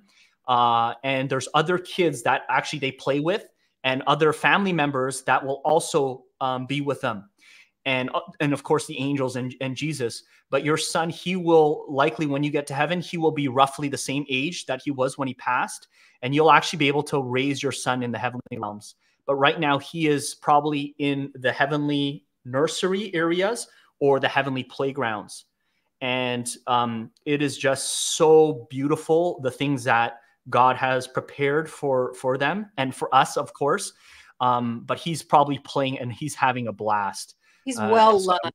Yes, so so much fun there, uh, and so have um, peace that knowing that God um, is when there's no no potential, there's no potential lost in heaven. So on the earth, we think, oh, he didn't get to live a full life.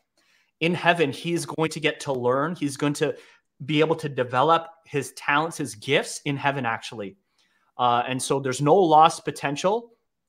Um, that's how amazing it is that God would love us so much and he loves our children so much too. He's given them to us, of course, and for whatever reason, um, the Lord has taken him. Um, but uh, know that you will see him again, uh, and he's well taken care of, and he's probably having a blast. He's probably riding dinosaurs. There's there is Dino Island uh, Park, which is uh, basically like a Jurassic Park, but it's actually in the clouds. When I had seen it, the Lord had brought me um, to it it's like in the clouds and there's all sorts of beautiful dinosaurs and uh, other creatures that we would blow our imagination like you won't even believe. Uh, and he and other children they were playing in that park. They were riding dinosaurs and some of them would be riding also even on rainbows riding on beautiful um, amusement park type of places in heaven. Uh, so there's all sorts of incredible places uh, and that's where the Lord um, has brought some of the children who have passed um, too early. So, when, when you're talking about fascinating places in heaven, also, um, one time I was in, um, yes, Ginger has seen that. We, uh, I was in like a forest, and yeah. that I want to introduce you to some very good friends. Yeah. And I was expecting some people yeah. And this is a very much Lord of the Rings type of thing that I'm about to tell you. Yeah. But all of a sudden, these huge, towering oak trees started walking towards me. Wow. And he said, These are the oaks of righteousness, and their roots go wow. deep, and they're full of wisdom. Wow. And we talked, and um, through the years, they have sometimes when I'm dealing with with certain SRA things, yeah. they might give me um, a branch that they have themselves fashioned into an arrow or wow. to hold something. That's fascinating.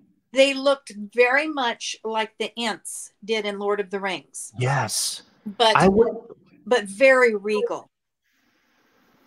That is incredible. You know, I was because I was kind of thinking, are there because I and I haven't seen the, them yet, um, but it's like God has created different spirits that, and they're not angels; they're spirits that they don't fit the role of an angel or a human, and they look like a beast.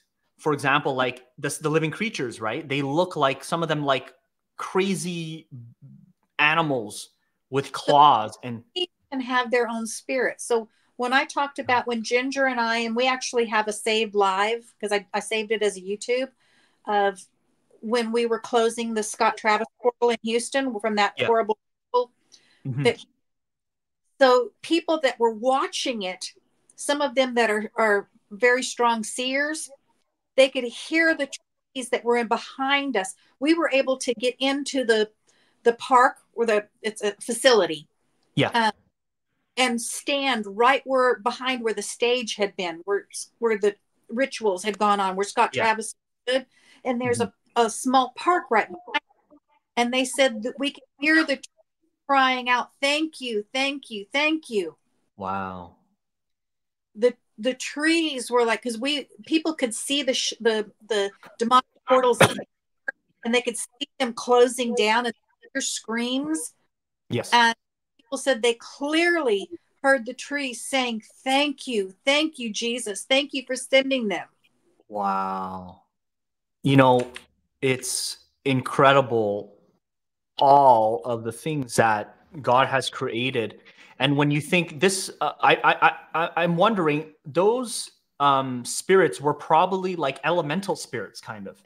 Stot- uh, Stosh- Stoichians um oh how what is that word St- Stoichians or Stoich- yeah, Stoichian in the original. I- uh, they're yes. they're met through our things that uh, I've been working with um, ritual victims. I have met trees that are very, very evil and that serve the dark ones. yes.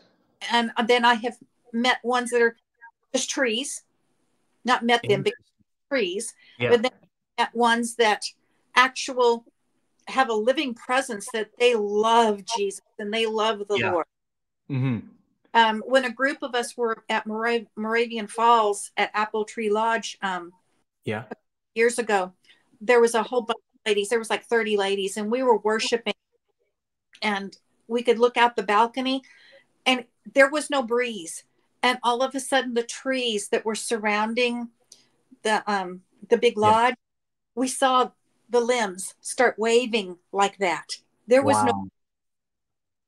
They Wow. were worshiping with us. That's that's the same building that Bob Jones and that group used to meet in and hold their retreats where they um, sequester themselves for like two weeks at a time Oh, to see what the Lord was going to tell them. A group of would meet in the the basement part of this lodge, and so there's a long history of um, the presence of the Lord being there. Wow, that's amazing. You know, like I think back to all of the various because at first I always thought like this before the supernatural visions and encounters, I always thought, oh, it's just angels. And o- angels can only be male. And so there's so many preconceived Mhm. things that through religion and church has kind of taught that have actually been false. And so it was like, you know, the Holy Spirit will shatter a lot of those belief systems Mhm. um, because it's not truth. And the thing is, is that um, it's like it'll be in it, it. It's so fascinating because you, you know it's like for example with the whole female feminine spirits. I used to think okay, only male spirits, and then from there it's like late. I meet Lady Wisdom, and I'm like, wait a minute, this is a feminine spirit, a holy feminine spirit that God has created, and you know and then of course in proverbs it all the whole all of proverbs is talking about lady uh, wisdom right as a feminine spirit. And of course yes i understand poetry the proper exegesis and everything like that. But the thing is is that the holy spirit can have multiple layers of revelation uh, where we just think oh that's just a poetic style of poetry. Well actually it's not just poetic. And then there's things like you know the living creatures because you have the angelic host and the host is like your military it's the military branch of God's angels. But not all of the angelic hosts are actually angels like we would think, humanoid form with wings, etc. Some of the angelic hosts are living creatures. Yes. And the way that I would describe living creatures, and it's a generic term, basically saying like some of these things don't have a, a morphological body like we would think. For example, the uh, ophanim or the th- um, what we would call the throne angels, which wheels within wheels, Mhm. and the eyes, they can take on different forms. So, for example, one of the first times that I would see them is they would appear as a chariot, like an ancient chariot, but they're lit, it's alive. And Jesus and I, or Jesus would ride on it, or the Father would ride on it, and then sometimes me and Jesus would ride on it. Other times I've seen them appear as halos of light, but it's like a gyroscopic. Think of like you know, Mhm. when you see the sun and you see um, some of the photos, astro- astronomer photos of the um, the solar flares and the different anomalies with basically yeah. a flame of fire that basically is moving. And so if you picture um, a, a, circular ring of fire, multiple rings like that, it was like that. And I could see it. But what was also interesting is there was many smaller, almost like uh, flames or like circular orbs that were gyrating within this that looked like eyes to me. And then there was another time where I seen it, it looks like eyes right? And mm-hmm. basically wheels within wheels in a gyroscopic movement. So I've seen them in multiple forms, and each time in the spirit, like I, you sometimes certain things you know, like oh, I know that is a throne angel, that is an ophanim, mm-hmm. and there's other times where there have been angelic hosts. So when we're like, like let's say we're shutting down a cosmic realm uh, from a bride of a former bride of Satan or a high satanic uh, mother of darkness, right? Who is a, a SRA survivor who was trained as a mother of darkness. You will at times shut down entire realms in the spirit.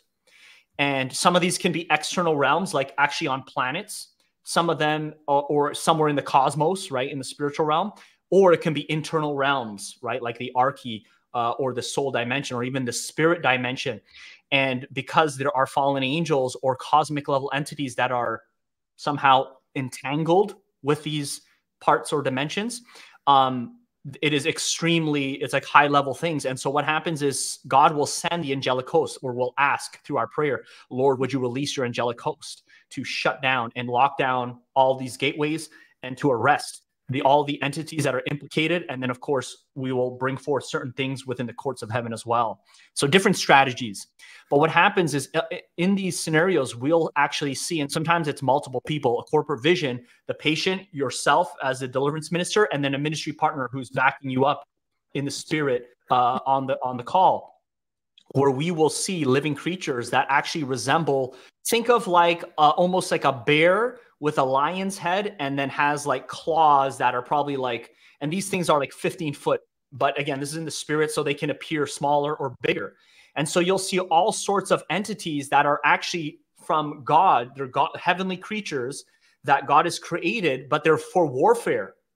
And then there's angels that, for example, um, there was this one time where the Lord introduced me to um, Zerekiel, who was a, a who is a, I believe is an archangel, but he's a chief uh, angel over a tribe of angelic host.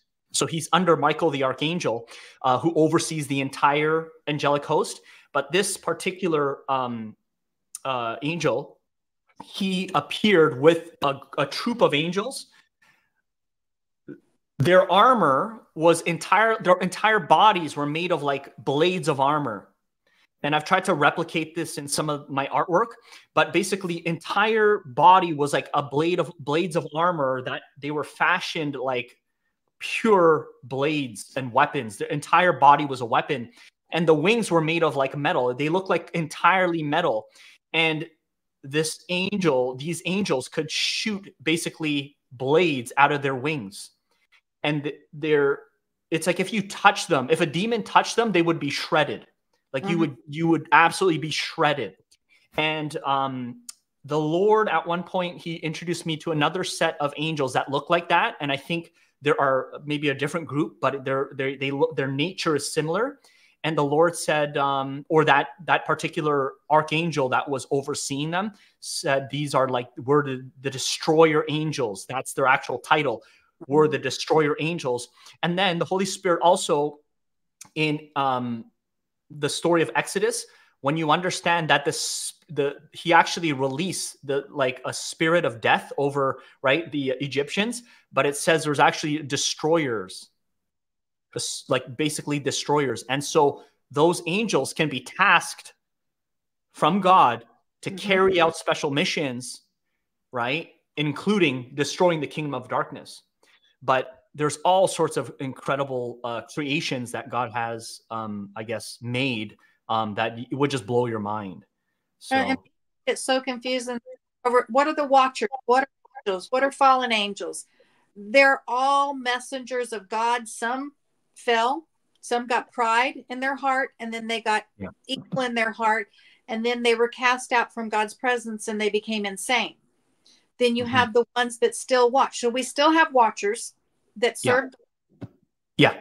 There's still those. There's all kinds of categories of angelic host. Yeah. And what I've learned too is sons of God is just one small category of Yeah. angelic being. There's so many different Yeah. different categories, different types. They serve different purposes. Um, I've seen some that do nothing but but they're like court couriers. They mess it. They take scrolls back and forth. Oh yes, yes. The I, I call them ministering spirits. Yes, there's Mhm. there's there's all different kinds of things. There's um, oh, there the is Aragorns. category. Uh, this is something that I know that there's a lot of times people will get so hung up on this of the race of angels or the race of Jesus. I know, right? yeah. Um, first of all, God and Jesus and Holy Spirit, because it says in the beginning, they created everything. And then he said, Let us, us meaning the Father, the Son, and the Holy Spirit, create man in our image and in our likeness. So God and Jesus and Holy Spirit embody every part of humanity, every race, every color, Yeah. every every nuance. They hold that. Yeah. And angels, I have seen angels up here. I've seen them Asian looking. I've seen them black. Yeah. I've seen Black, White. yes. I've seen a black and Chinese. female. I've seen them uh, look like nothing like earth. Yes. They Mhm. can appear how they The- need to appear. Mhm. Yeah. However, God needs them to appear is how they're going to appear.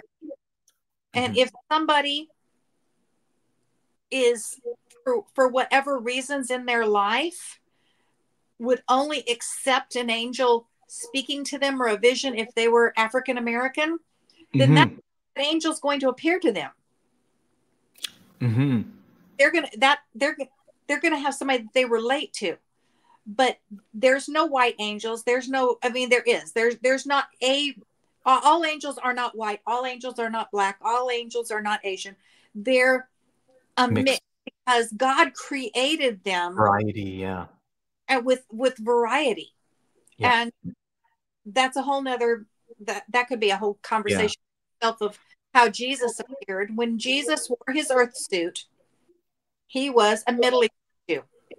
There's Yeah. there's getting around that he wasn't white he wasn't black he Yeah. was a jew Yeah. he caramel colored he, he had a great tan Yeah. Um, He does. when i've seen him Yeah. um, our visions we've talked about this before of he looks very similar he had Yes. about length dark brown wavy hair sometimes i see him with green eyes i've seen him with flames in his eyes blue eyes often i see him with green eyes And brown. Yeah, exactly.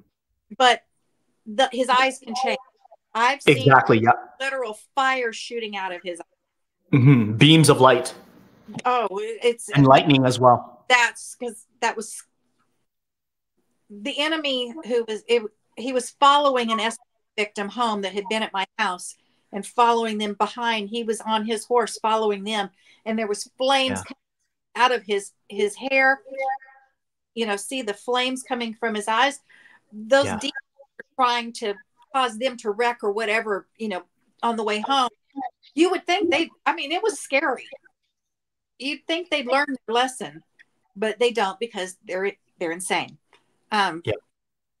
jesus can appear how he needs to appear Yeah. Mhm. when he was on this earth it is what it is he was he was Yeah. a Jew. It just is what it is Yeah. Usually when I see him like in the spirit in visions um, and encounters in the heavenly realms, I'll see him uh, he has a he he's very lean, muscular, like lean Yeah. muscular because I guess when he was a, as a carpenter, but he's also like 6 foot something maybe. He's quite tall. Um, and there's typically I've seen him both with wavy wavy and curly hair both. Yes, I've seen him both times. Um, and a pretty clean cut uh, beard. uh, and tanned, like tanned Middle Eastern type of skin. And the most of the time when I would see him, it was with brown eyes. Then um, I saw him in like deliverance when uh, he was healing other people, uh, soul parts. I was like, wait, he has blue eyes? And then sometimes it would be green eyes. So then I was kind of confused because I was like, oh, that's a contradiction, right? And then I asked uh, my ministry partners, and I was like, hey, when you see Jesus, what color do you see him? And they're like, well, I've seen him with blue eyes, with brown eyes, with green eyes. And it's usually those three. And then, of course, his glory eyes. I call it the glorified yeah. eyes.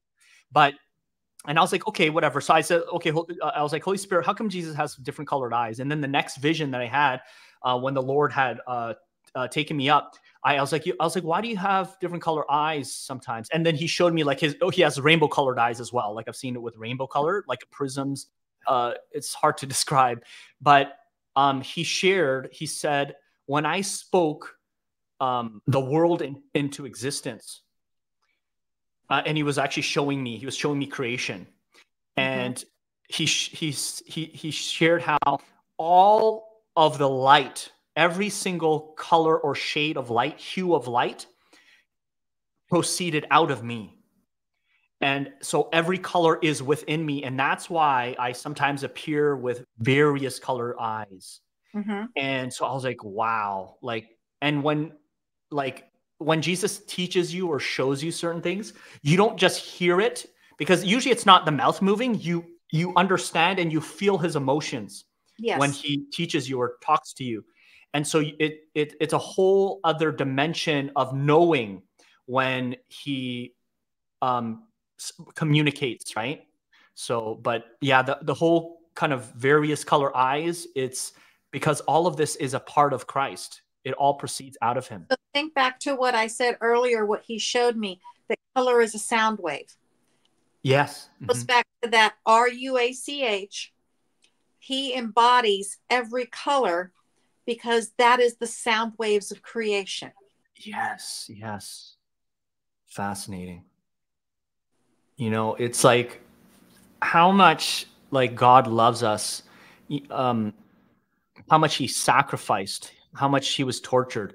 Um, can you share what the Lord has um, revealed to you in the heavenly realms and through visions of his suffering and some of the things like, for example, like the signature of his blood on us?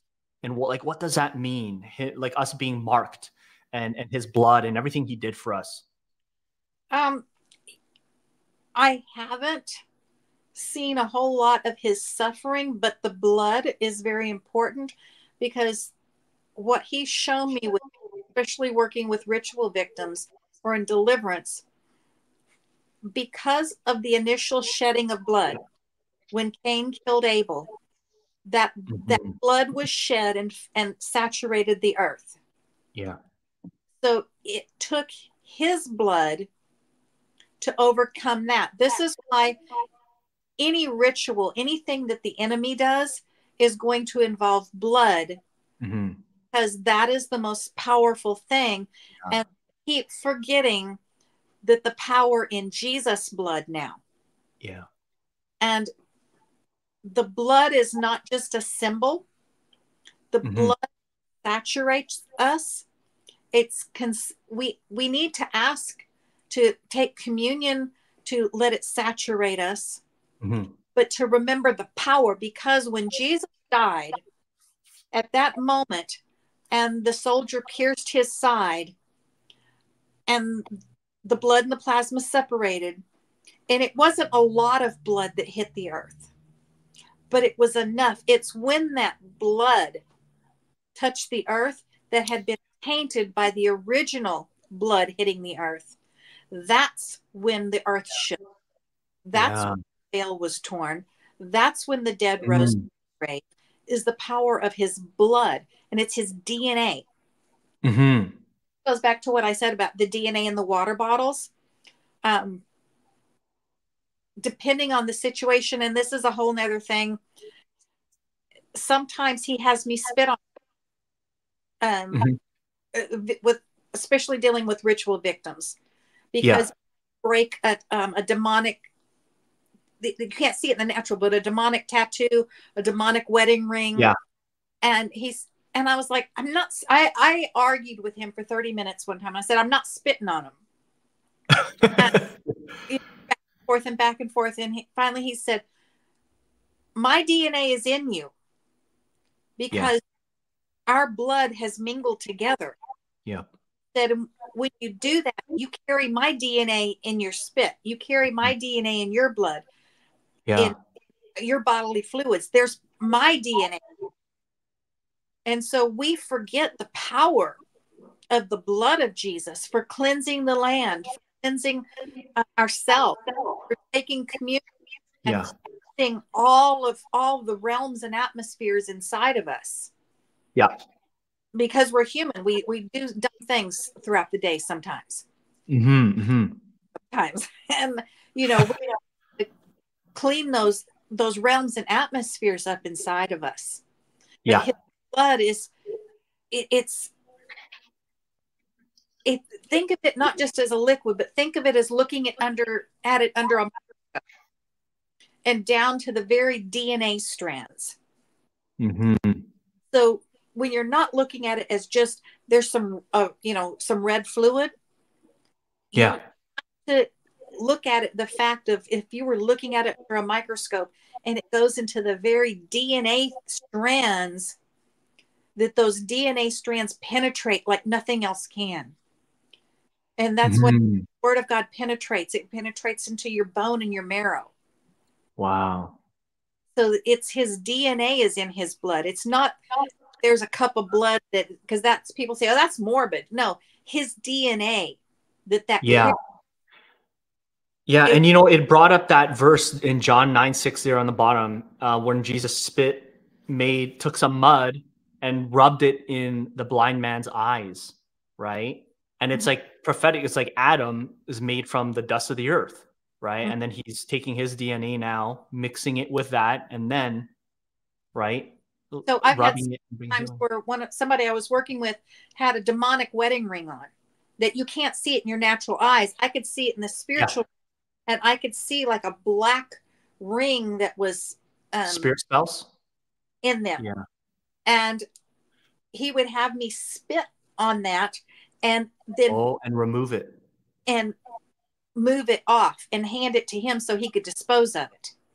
Interesting. I, i've encountered a lot of spiritual jewelry um, usually related to spirit spouse and um, one of the other ones which i refer to as a queen ruler uh, and that is a part of a person that has been programmed by the kingdom of darkness. Again this is sra uh, that has been uh, programmed mm-hmm. through uh, demonic realms to be a queen tethered to Lucifer or a fallen entity. Mm-hmm. Uh, and that part actually rules in an actual realm. Mm-hmm. And this particular realm could be like anything. There's really wild stuff. And there will be physical uh, or spiritual jewelry that can actually be physically felt on the person but it's because they're they're they're in a covenant, a marriage covenant with this fallen angel or cosmic level entity that um, all of this has to be renounced and removed. So I mean, we can pray when I'm doing it, it's virtual most of the time through Zoom deliverance, and so we will pray divorce both the entity, the covenants, and all of the legal documents. We'll ask the Lord to bring it all up. Uh, and everything to be exposed under the light of the Father that will penetrate infinitely deep, infinitely wide, uh, every covenant, including all spirit spouse like uh, children. Mm-hmm. So there's sometimes offspring in the spirit um, that have been uh, basically created, uh, and so you have to get all of that in order to successfully break this uh, covenant with the spirit spouse. And so a lot of times they can feel these things being taken off by Jesus, mm-hmm. um, and sometimes they felt it for years. They felt this um, jewelry or like things like binding them. Yeah. Uh, so it's like really strange, right? It's a picture of what's like the the natural realm is only a picture of this uh, of the, the, spirit, right? Like it's crazy. It, it it really is, and we think it's crazy, but that's more real than our because this physical world is temporary, and mm-hmm. this realm, yeah, is infinite. Um, a lot of times when I'm taking someone for a divorce I don't just take them to the regular courts of heaven. I ask for that to be done at the foot of the throne because I don't want um, any demonic any demonic entities interfering in that at Yeah. all. Yeah. And then God Himself decrees a divorce. Oh, okay. Yeah. And many times I've had him then bring Jesus up and he puts the person's hand in Jesus' hand and he puts his hand over that and he says, I decree you and my son are married now. Oh, I love that. Yeah. And he said, No one, no one Mhm. can do that. Yeah. What I say overrules or overthrows anything that any demonic Mm, has done. yeah. Belinda asks, "What is the ring around the neck?" I mean, it could be all sorts of jewelry or different types of things. Uh, but if it's a noose, maybe sometimes people in deliverance they've felt for years or months nooses around their neck of being strangled by uh, demons. Uh, and so, you know, whatever type of devices uh, that we we there's different wording we can use to just basically in plain English, whatever devices or tracking devices, uh, jewelry, inheritance, we sever it, we break it, we stamp it with the blood, nail it to the cross. Um, would it be completely removed, Lord Jesus, uh, and taken and destroyed in by the fires of the Holy Spirit, etc. We plead the blood of Jesus, right? And a lot of times um, that is effective in removing these different devices and things that the kingdom of darkness can put on people. And we've talked about doing this and we do, we need to do one just on deliverance one time. Yeah. Uh, mhm. so many people misunderstand actually what deliverance is. There's so many misconceptions in the church. They think you got to Yeah. Shout at someone and throw a Bible at them, Yeah. Bible, all these things. But that the band can also be the reason why in slavery they put the band around the neck. Mm, yes. Times it is a means of ownership Mm. attached by a ley line Yep. mhm. oven Yeah. that's monitoring that person. Yeah. Um, so it can be all those things that you said, and that's another thing it can be it is a slave ring ownership around there. Mhm, mhm, Yeah, tethered tethered to um, a region of captivity, even, um, or somewhere, someplace in the land, ley lines and things like that. These are like energy Yeah, um, exactly. centers within the earth that are uh, intersecting, uh, right, different places in the earth, and that's where also this gets difficult too, is because the kingdom of darkness, uh, including uh, some of the elites, will use ley lines, right, uh, to channel essentially. It could be anything. It could be finances. It could be things, and also a lot of times there's demonic activity that could occur in the land as a result of wherever these uh, kind of um, ley lines are intersecting. And so sometimes um, it depends. There could be ways we need to cleanse the land, or other ways we need to shield and ask the Lord to do different things. Mhm. Um, but someone says, Is there marriage in heaven? Are you married to your husband on earth in heaven? What about those who have had multiple marriages? Uh, Michele, do you want to answer that one? Scripture's pretty clear about that. We are spirit people. There isn't marriage like here. We um, we all worship God. Yeah. Entity. That doesn't mean we don't have love for people up Mm-hmm. there, um, because we will love differently. It's a pure love. Yes. yeah. Um, And marriages, we're all married to Christ. yeah, it, marriages on earth. Part of that is centered into um, all the things that come with marriage, the bodily things, and in heaven there isn't that. Mhm, mhm. There's Yeah. the earth suit things that are associated. Yeah. it- pure love and it is centered upon all of us being yes all of us being married to jesus because in heaven we will all be the bride of christ so Yeah. we can't be the bride of christ and still be married to a spouse Mm-hmm, mm-hmm. Yeah. um, but if- for those that have had multiple marriages it's if um, let's hope that that they all get to go to heaven Yeah. and there will be healing and there won't be any animosity Yeah. Exactly. Yeah. A coming together of let's all go worship jesus today this is so awesome Mhm. Yeah. and I think like you know from what I've seen and and what the Lord has shown me is like in the mansions, um, there's the areas, the beautiful. It, it looks almost like a city, but um, by the mansions there are the houses are incredible, but there are people who families and you know part uh, people who are married in the earth you will actually some people if you want to you can live beside your your who you were married to in the earth and it's like like me and Jeannie, we love each other so much that I'm like, yo, we're gonna be living on the same block, or we can actually live in the same place because we love each other so much. But it's, it's such a pure love. Um, and so I think in heaven, in the mansions, like you will literally have families and friends over. You can have as many people as you want over and have feasts and mm-hmm. and do things together. If you want to go fishing, if you want to, you know, whatever it is. Um, there's so much to do. There's so much fun. Um, and there's so much pure fellowship that it's like we'll be sharing amazing stories of what God did in our lives, mm-hmm. right? And there won't be any of the negative things, any of the sadness or any of that. Um, and it's just it's a part of the the nature in heaven is just different from the earth, right? Uh, and remember, marriage is a picture of our covenant with Christ, right? And so the things in the earth is just a mirror of that in the spiritual realm. Yes. So, so hopefully that answers that someone else asks, do you know once you are in heaven if some of your family does not make it there? I don't believe you will. No, you won't. And Jesus has made that clear to me. You're not going to have, there is no sorrow. Because if he showed you family members that didn't make it, sorrow, and there is sorrow in heaven. Yeah. You just, you won't even be aware of that. Mm-hmm. Yeah, that's that's what what I what I believe as well same awareness as we are here. Like, I wonder what Sally down the street's doing. I wonder what what cousin Betsy's doing. It's, you know, oh, she's is she doing that again? No, there's there's not any of that. It's going to be pure, pure love, and pure worship. The focus on the bride, on the bridegroom, mm-hmm.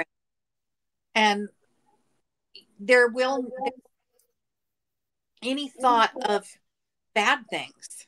Mm-hmm, mm-hmm yeah it, it yeah. will be it's uh, it's not like they're exactly um but we won't remember you won't be aware that they didn't make it. Yes. Yeah exactly. Yeah i mean it's uh you know like spending time with the lord in like heavenly realms it's just uh, like there's times where in the earth like there's still things i love and enjoy in like the natural realm my family you know my wife um but like once you spend time in the spirit with the lord and see all that there is it's like it actually kind of makes the like the real world seem so pale in comparison it's, that it's just like this world is pale petty compared yeah. what's yeah. going to what it's going to be like. Mm-hmm, mm-hmm. And we're going to be busy. We're um, a, a, bunch of angels floating around on a cloud. There's going to be things to do because mm-hmm. it's old world will pass away for the new earth, the new yeah. world. And it's not going to be an earth like this, but there will still be things to do. Mm-hmm. Yeah. You know, when I was a kid, I thought heaven is going to be a really boring place if we spend there eternity and it was weird like i was a, always like a tinker i always used to think of like weird things as like as a as a kid and i was like heaven's going to be boring and we're going to have to spend eternity there and so i'd have all these really bombarding thoughts uh, and i mean some of them may have been d- demonic but it was like um it was like understanding it's like that heaven is going to be so much fun when you worship the Lord. Mm-hmm. Uh, when you, if you want to learn new things, if you want to step into the Father and walk and and know the Father, the deeper levels, and also our pets, our pets are going to be there. Because mm-hmm. that which we love, like the things that we love, God wants to bring them to heaven, and so know that actually our pets will actually be in heaven as well. Yeah, and they have they actually have a spirit as well. The ruach is is within in them. Pets are very aware of the spiritual realm. Yes. Bitsy who was just crawling up on me she is very aware when there is something demonic trying to get into the house. Mm-hmm, mm-hmm. Time she'll run to me just shaking because Oh, maybe yeah. outside and see something and she runs in and just gets up on me and just shaking. And then there's other times that she'll be looking out the front window on her chair and just Yeah. and she- you know she's a tiny little thing. She sees Yeah. that. Um, Yes. they're Mhm. very aware of the spiritual. Yeah. realm. Yeah, definitely. Um, and Sharon asks, I want to have more encounters in heaven with Jesus, Father, and Holy Spirit. What are some of the things that you have found in your journey um, to spend time with God and have supernatural encounters? Because it's part of our inheritance. But what are some of the things that you've done that you found help that? when I first was starting to step into really seeing in the spiritual realm, and this is this Yeah. has been ten years ago, um, Yeah. that I really focused on it and started having encounters. I wanted badly to see in the spiritual realm. Well, one of the things that Jesus led me to was listening to Graham Cooke's. Um, is it "I'm a Warrior"? I think it is. Um, I can post that in comments later. Um, and it's it's like a, a 30 minute soaking, but it's he's speaking to your spirit to rise up. And, and Yeah. him speaking to your spirit to rise up. Oh, uh, all these Mm, ways. So yeah. telling your spirit to rise up. And then as you start worshiping with that, it's worship and intense worship. Yes. I mean, in a tent, but which you can and. But you really have to spend quality time Mm, worshiping. yes. Um, I love Rick Pino's his worship. One one time, um, I was I had gone to because he lives only an hour from here, so Oh. it's easier to you know go to things that that he has. But Mhm. like a teaching class that he had and he was talking about getting into the spirit realm and really getting into that that intense secret place Yes. Yeah. yes i can't remember the name it's something warrior but we had all been worshiping and he goes stop so he goes no god's speaking to me and he says we're going to do one thing Mm, because he'd been singing the song he has of, of you are holy but he which is a beautiful song and it's all it's singing to him he goes he goes we're going to switch this up and he goes we're going to say one word. Mhm. and it was just holy. Oh, holy. For 25 minutes wow. we were singing holy. Mm, see the angels in the room. Just worshiping. The room was couldn't see the room for the angels. Wow. Daddy was just crying out, holy, holy, holy, holy. Holy. Yes. It's like we talked earlier about here. Um, it shifted so much. There was not one person that could stand. The Mm, atmosphere was tangibly heavy, and the holiness permeated. There, there was no space. You couldn't see the ceiling. You couldn't see the walls. You couldn't see the walkways because of so many angels that were in there. Not, not everybody could see them, but the closer you Papa's heart of being in that in, intimate place with him mhm. and asking him, I want to see your heart, and you worship and you walk in with the intent, I'm Mhm. going to encounter Holy Spirit today. I'm going to encounter Jesus today. I'm going to encounter Father God today. And it's purposeful intent to say, I'm going to have an encounter with the Lord today. Yeah. And you focus on having that encounter with Him Mhm. focus on it by not focusing on you. So many songs I'm like, and I'm not dissing K-Love really or any of those stations, but though they mostly play feel good songs, songs to make you feel better about you. I'm talking Mhm. about worship, Yes. Yeah. worship of the Father. Julie Myers, um, Julie Myers is eh, go to Spotify and listen to her music. Okay. Thing that she does is worship of the Father. hmm yeah. she has is a a prayer that Heidi. She was at a. Um, she does a lot of conferences, and Heidi Baker was, and she's the worship leader at a lot. And Heidi Baker was going to be speaking, and she was going to start with a prayer. And Jesus said, "Get your note paper out." Or he's like, and I see he goes, "I want you to write her prayer down." And he said, "You're going to turn the prayer into a song." Mm. And that song is called "I Will Go Anywhere." Mm-hmm. Want to really not just get in His presence, but surrender yourself fully to Him. Yes it's singing Baker's prayer of I will go mm-hmm. anywhere. Mm-hmm. I will do anything.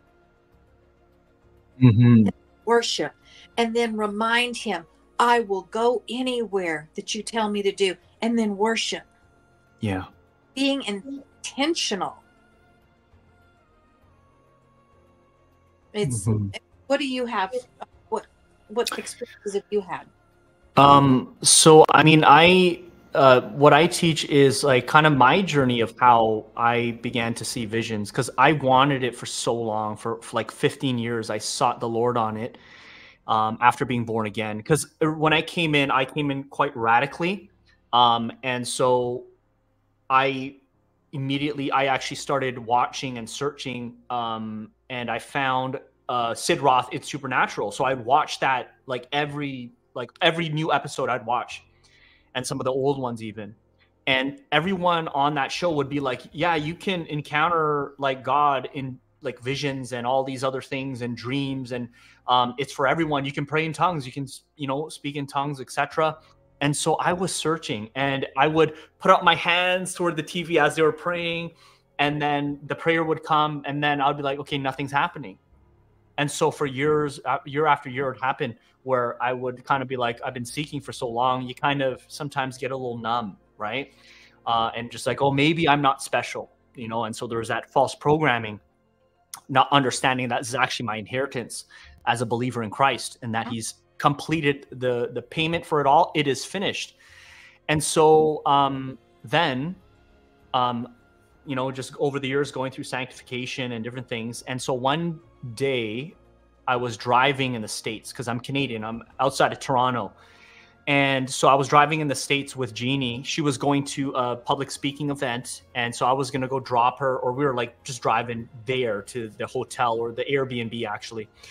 And what happened was um, I was worshiping the Lord. And I, I, think I was listening to Jenny Weaver's uh, worship, one of her, her albums back then before she was like famous or more popular. But I was listening to her and I was worshiping the Lord and um, as I was worshiping driving, I saw seven eagles flying over, like, um, you know, within a short period of time. And also, I was like, wow, like God, like, you know, whatever. And I was just worshiping. So I was in the, I was in that, in that frequency of the heavenly realms in that sense. And then all of a sudden, I started praying in tongues um, while driving. And so for 15 years or so, I had searched and finally received the baptism of the Holy Spirit so for the next like three days, I prayed in tongues nonstop, and I was working remotely from the hotel. Uh, Jeannie would go uh, from the Airbnb, and Jeannie would go to her public speaking event stuff, and um, I would just pray in tongues because I'm just like uh, typing in computer, right? I don't need to talk to anyone on the phone or anything, and so I was just praying in tongues the entire time.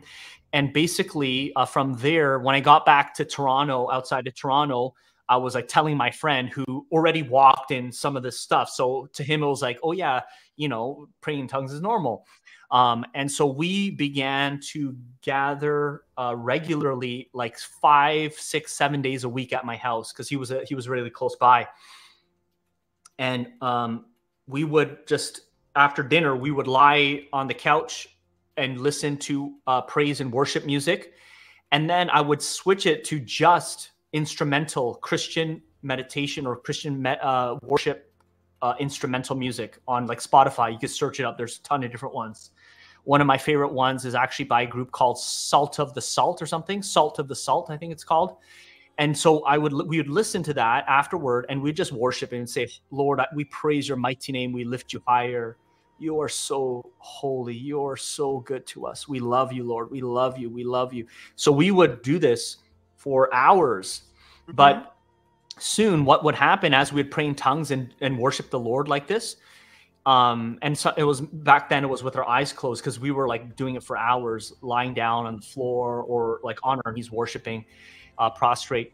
And then that's when I first began to see visions. He had already, he could already see visions, but he, it was like a once in a while thing but because we fostered this presence of the Holy Spirit, saying like every time I'll say, Holy Spirit, we welcome you here into my living room.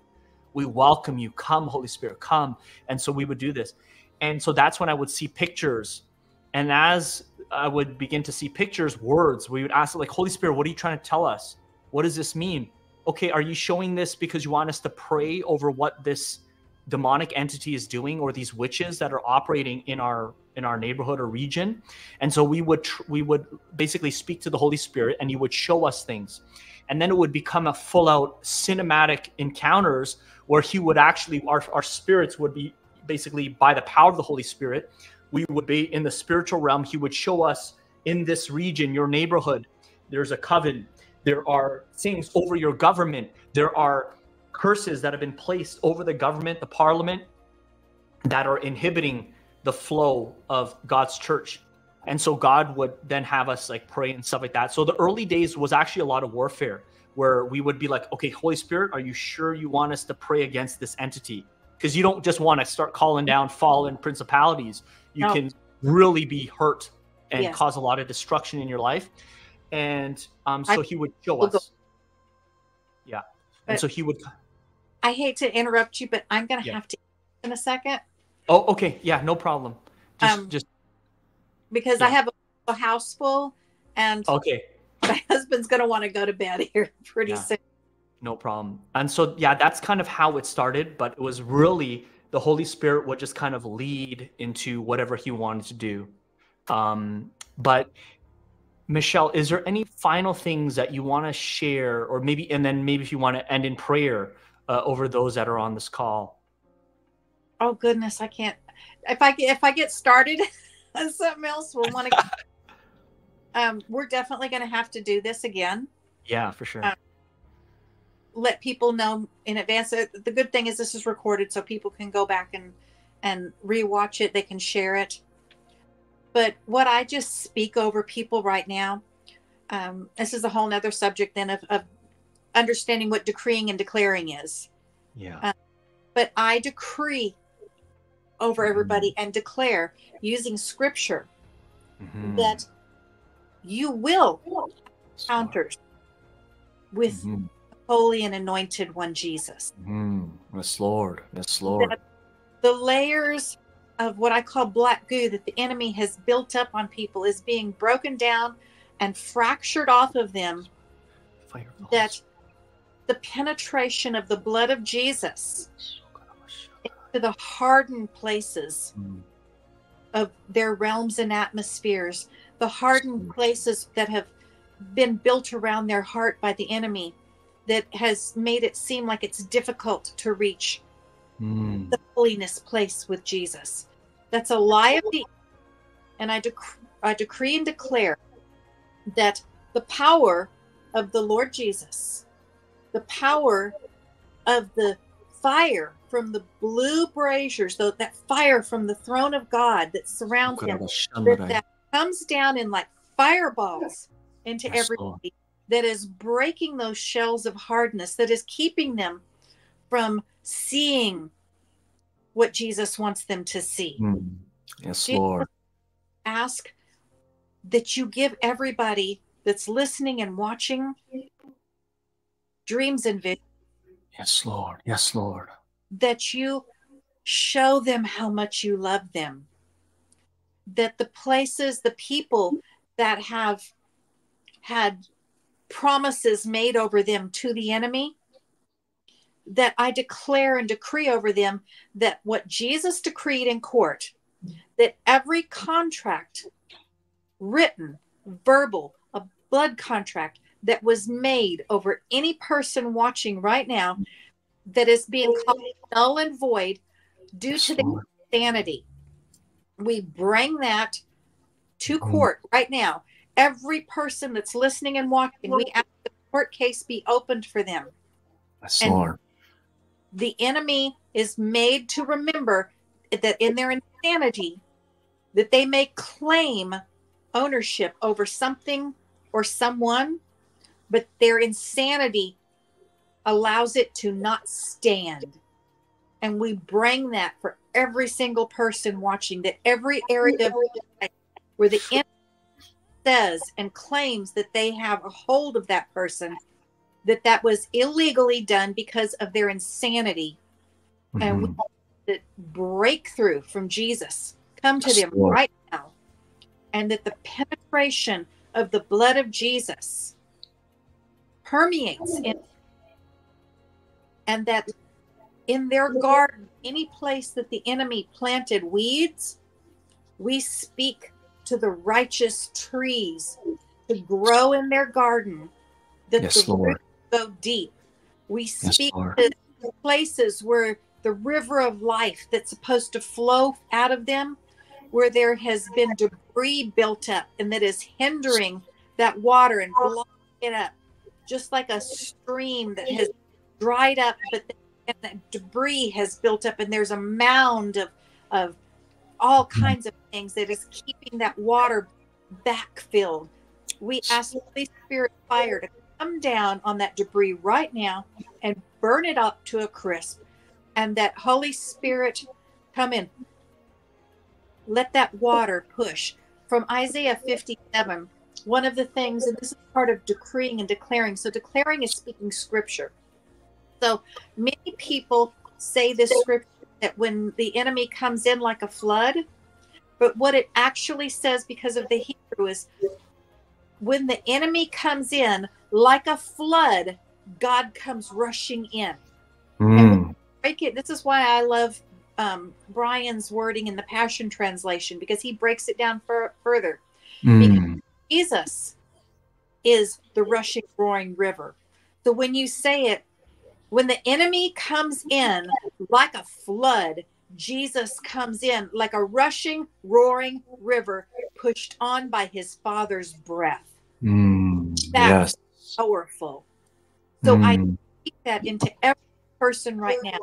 I declare that scripture for them that in every area of your life, that right now I want you to ask Jesus to mm. come like a rushing, roaring river pushed on by his fathers. That is breaking down every demonic dam and every demonic um, structure that is keeping you from moving forward, let that rushing, roaring river, which is Jesus, Lord, by his own Father's breath. Mm-hmm. There is nothing in the demonic realm that can stop that rushing, roaring river. So I speak that into everybody right now that every area of your life that's stale and stagnant, where the backwater has been built up because that that river inside of you has been captured by rush. Jesus. That that stale stagnant water right now is being infilled by the roaring rushing river and that tonight you will be filled with dreams and visions Yes, and Jesus. Demonic realm, but from mm. God's own realm. That you will you will get instructions, that you will get witty ideas, that you will get downloads for books, that you will get delivered. Even yes. after sleep and rest, that God, if, if you ask Him, use me, even while I'm sleeping, God, and He will use you. Yes, Lord. He will have kingdom purposes for you, and that each of you tonight are going to start stepping even further into your identity as a bride of Christ. And a bride is not male or female, is just the bride. And that you all start stepping into that, into a fullness that you've never seen before. Mm-hmm.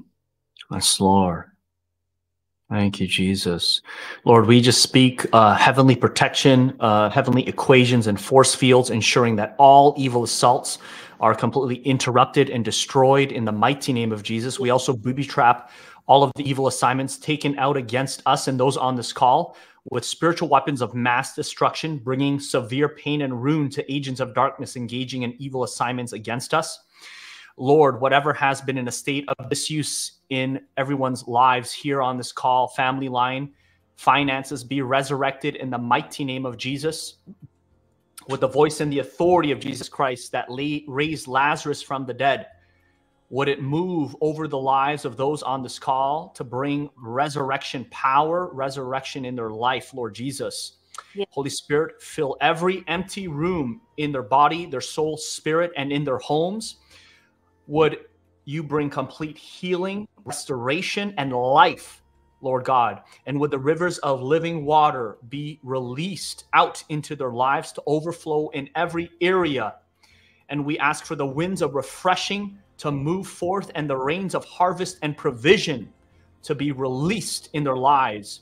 We speak, Lord God, into everyone's life right now that is hearing the sound of my voice and even in the replay that your will would be done in their lives, Lord God, and that your Holy Spirit would, would abide in them and throughout their life, Lord God, and that you would speak to them and that you would open the eyes of the Spirit, the eyes of understanding, and that they would encounter you in heavenly realms as they look for your eyes, as they look for your face when they go to sleep tonight or when they go into prayer, and that they would have supernatural encounters with you. And we claim this in the mighty name of Jesus. Amen. Amen. All right, Michele, thanks so much uh, for jumping on. Uh, it was a great, great uh, uh, um, live stream. And uh, we'll have to do it again. Yes. So, everybody, take care. Blessings. Bye, guys. Thanks, everyone, for jumping on. We'll see ya.